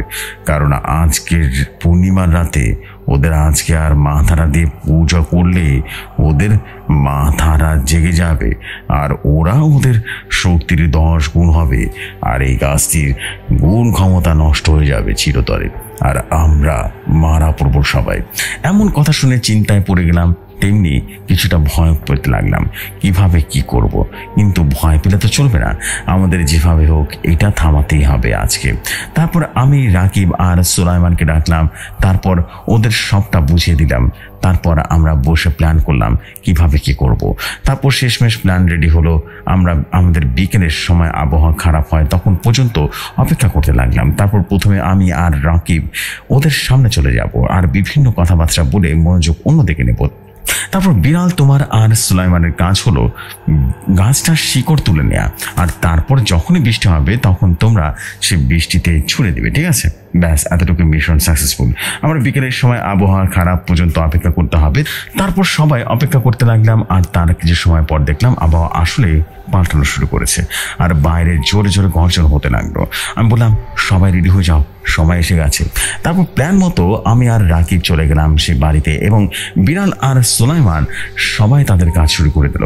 বারবার রাকিবকে আমি সাহস জোগাতে লাগলাম। তারপর আমি দেখি আমাদের চারপাশে অনেকগুলো আত্মা জড় হয়ে গেছে এবং তাদের বসও আছে, কিন্তু চেনা যাচ্ছে না।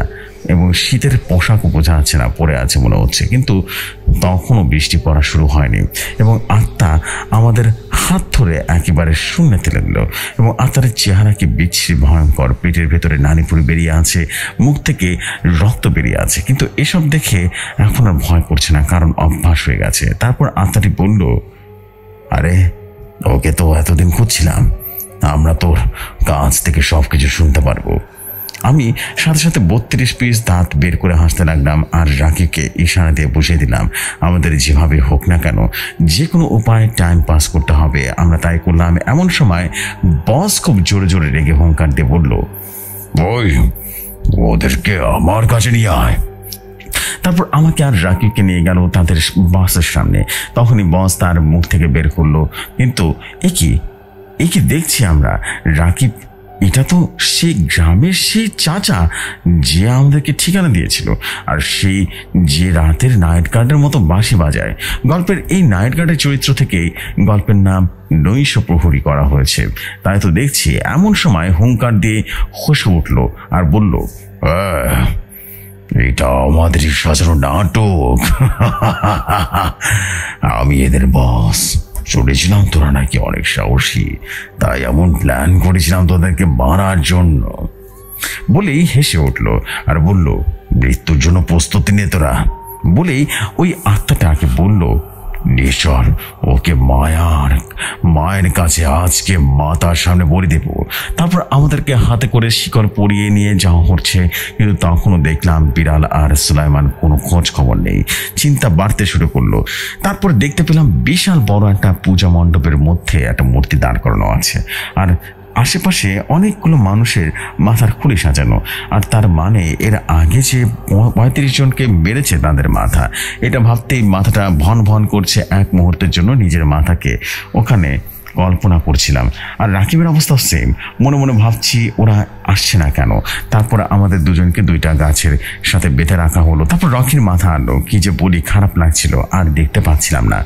চোখ সরিয়ে ফেললাম। আর অন্য এক পাশে দেখলাম একজন তারওয়াল ধরে ধান দিচ্ছে। এসব দেখে আমরা প্রাণ যেন বেরিয়ে আসছে, এরকম একটা অবস্থা। আপনার হলে আপনারা কি করতেন? অবশ্যই জানাবেন। যাই হোক, তারপরে তারা মঞ্চ পাঠ করা শুরু করল এবং খুব জোরে জোরে বৃষ্টি হওয়া শুরু করল। আমি আর উপরে তাকিয়ে দেখি বিড়ালের আর কিছুই দেখা যাচ্ছে না। আকাশে বাতাসে ভেসে আসছে। আমি রাকিবকে ইশারা দেখলাম। তখন যেন মনে হচ্ছিল সে বেঁচে গেছে। তখনই ঘটলো ম্যাজিক বিড়ালটা সেই শিকড়ের রস ছিটকাচ্ছে, সাথে সাথে সব আত্মারা দেখি ভয়ঙ্কর গর্জন করতে করতে এগিয়ে গেল। আর দেখতে পেলাম সারা শরীর থেকে মাংস কষে কষে পড়তে লাগল। সবাই মাটিতে পড়ে যাচ্ছে আর তাদের শরীর অদৃশ্য হয়ে যাচ্ছে। একে অপরের আত্মাগুলো যেন মারা গেল। তারপর খুব সজোরে দুইবার গর্জন করে তাদের বস অর্ফে নৈশ প্রহরী মারা গেল। এবং যেটা দেখে খুব আনন্দ লাগছিল, সাথে সাথে আবহাওয়া পাল্টে গেল, চারপাশে আলো আর আলোতে ভরে গেল। সূর্যের আলো দেখা গেল, তার মানে এখনও দিন আছে। তারপরে আর কি সোলেমান এসে আমাদের ছাড়িয়ে দিল। তারপর একটু বসে সবাই রেস্ট নিলাম। তারপর আমি বললাম, আমাদের এখনই চলে যেতে হবে। রকির জন্য খুব খারাপ লাগছিল। আমাদের সব পূরণের জন্য একটা বন্ধুকে জীবন দিতে হলো। সবাই প্রতিজ্ঞা করলাম, এসব বাদ দিয়ে দিব। তারপর সবাই জঙ্গল থেকে তাড়াতাড়ি হাঁটতে হাঁটতে স্টেশনের দিকে চলে গেলাম। কিন্তু এখানে এসে দেখি, এখানে সে আগের মতো আবহাওয়া বিভাগ চলছে আমি তখন বললাম, এইটাই সুযোগ। তখন বৃষ্টির দিকে সেই শিকুরের রস ছিটকে দিল এবং বিড়ালটার সাথে সেই আগের মতো সব কিছু হতে লাগল সেখানে পূর্বের মতো হয়ে গেল। তারপর রফিক কাকাদের বাড়িতে গেলাম, সবাই আমার সাথে চলে গেল এবং কিন্তু সন্ধ্যা হয়ে গিয়েছিল, তাই চিন্তা করি যে সকালে চলে যাব। তারপর রাতে আমরা খেয়ে দিয়ে সবাই ঘুমিয়ে পড়ি। সবাই অনেক ক্লান্ত ছিলাম, সকাল দশটার দিকে ঘুম ভাঙলো। তারপর আমরা সবাই রেডি হয়ে নিলাম এবং বাড়ি আসব। তারপর কাকার কাছে এসে বিদায় নেব। তখন কাকা বলল, তোমরা এত উপকার করলে এই জন্য কোনোদিন পরিশোধ করতে পারব না এরেন এতটুকু বলেই আমাদেরকে জড়িয়ে ধরে কাঁদতে লাগল। আর বলল আমার জন্য তোমাদের বন্ধুদের হারাতে হলো। এই বলে সে কান্না করে দিল। আমরা তখন বললাম, আহারে, আর কাঁদবেন না। আপনারা আপনার ছেলের মতো। আছেন আমরা আপনার ছেলের মতো। আর এটা একটা দুর্ঘটনা ছিল। আমরা রকিকে বাঁচাতে পারিনি, তার জন্য অনেক অনেক লজ্জিত। সারা জীবন এই বোঝা আমাদের বই বেড়াতে হবে। তারপর অনেক বুঝিয়ে আমরা আমাদের বাড়ির দিকে আসলাম এবং ট্রেনের মধ্যে বসে পড়ি তিন বন্ধু অনেক সময় কাঁদছিলাম যে বন্ধু সবসময় কথা বলে, সে বন্ধু আজকে আমাদের মাঝে নেই। ভাবছিলাম, ভাবছি কি করে কাকু কাকিমাকে জমা দেব। প্রায় বিকেল হয়ে গেল এবং বাড়িতে পৌঁছলাম। কাকু কাকিমাকে আমরা বললাম আমাদের ক্ষমা করে দেবেন কাকু। আমাদের শখটা থেকে রকিকে কেড়ে নিল। আমরা ওকে বাঁচাতে পারলাম না। কাকু কাকিমা কান্নাকাটি করল এবং আমাদেরকে জড়িয়ে ধরে চর মারলেন এবং আব্বু আমাদের সামনে অনেক অনেক ই করলেন। কিন্তু আমার কোনো ব্যথা লাগল না, কারণ আমি বুঝতে পারছি তাদের মনের অবস্থা। তারপর কি? এইভাবে তিন বন্ধুর সাথে জীবন কাটতে লাগল। তারপর আর কখনো এসবের নাম আমরা মুখে আনিনি। স্বাভাবিকভাবে জীবন পার করছি আজ থেকে দশ বছর। ছাত্রের মতো করে।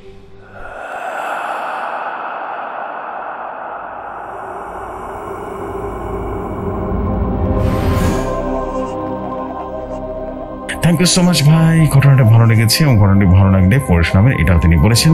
Thank you so much Ekandar ভাই। ঘটনাটি ভালো, মোটামুটি বেশ ভালোই স্টোরিটা বাট আসলে মানে একটু একটু ডিফারেন্ট স্টোরি না ইটস ওকে নো প্রবলেম ঘটনাটা বেশ ভালোই ছিল, আমি বলব। বাট আর একটু যদি বাস্তবিক ঘটনা হতো না, এটা একটা সুন্দর গল্প, ঠিক আছে? বাট আর একটু যদি বাস্তবিক গল্প হতো, খুব ভালো হতো আর কি। থ্যাংক ইউ সো মাচ ভাই। আশা করছি আপনার কাছ থেকে এরপরে থেকে আর একটু রিয়েল রিয়েল স্টোরি পাবো। গল্প বলেছি, আমি স্টোরি গল্প তো পড়ি, কিন্তু সেটা আরও একটা রিয়েলিটির মধ্যে যদি থেকে যদি স্টোরিগুলো শেয়ার করা যায়, তাহলে বোধ শুনতে অনেক বেশি ভালো লাগে। এই আর কি। সো যাই হোক thank you so much Ekundhar ভাই ফর ইউর নৈশচারী পার্ট টু বা লাস্ট পার্ট শেষ করে দিলাম, এবং আশা করছি আপনার কাছে ভালো লেগেছে, আপনি তো শুনেছেন নিশ্চয়ই। আর ভালো লাগলে অবশ্যই কমেন্ট করে জানিয়ে দেবেন। সো দিস আ ফ্যাক্ট আমি আর দেরি করব না, আমি আজকেও তো বিদায় নেব। আশা করছি আপনাদের সবার কাছে ভালো লেগেছে স্টোরিগুলো এবং স্টোরিগুলো ভালো লাগলে আজকের মতো বিদায় নেওয়া সম্ভব। অনেকগুলো স্টোরি পড়লাম মোটামুটি আটটা স্টোরি পড়া শেষ। দ্যাট ওয়াজ বিউটিফুল স্টোরি সবগুলো স্টোরি অনেক ভালো ছিল আজকের এবং সবগুলো ডার্ক ডার্ক স্টোরি ছিল। এবং আশা করছি আপনাদের সবার কাছে অনেক বেশি ভালো লেগেছে পুরো এপিসোডটা এবং আপনাদের কাছে ভালো লাগলে মূলত কষ্টটা সার্থক হবে। সো এখনকার মতো বিদায় নিচ্ছে। আগামীকাল কিন্তু আপনাদের জন্য ওয়েট করছে জায়ান জিনের ঘটনা। এক্স্যাক্টলি জায়ান জিনের ঘটনা কিন্তু আগামীকাল ওয়েট করছে। এবং অবশ্যই সঠিক সময় সবাই চলে আসবেন জায়ান জিনের ঘটনা শুনতে। So this is the fact আমি আর দেরি করব না। এখনকার মতো বিদায় নেব। আসসালামু আলাইকুম। শুভরাত্রি সবাইকে।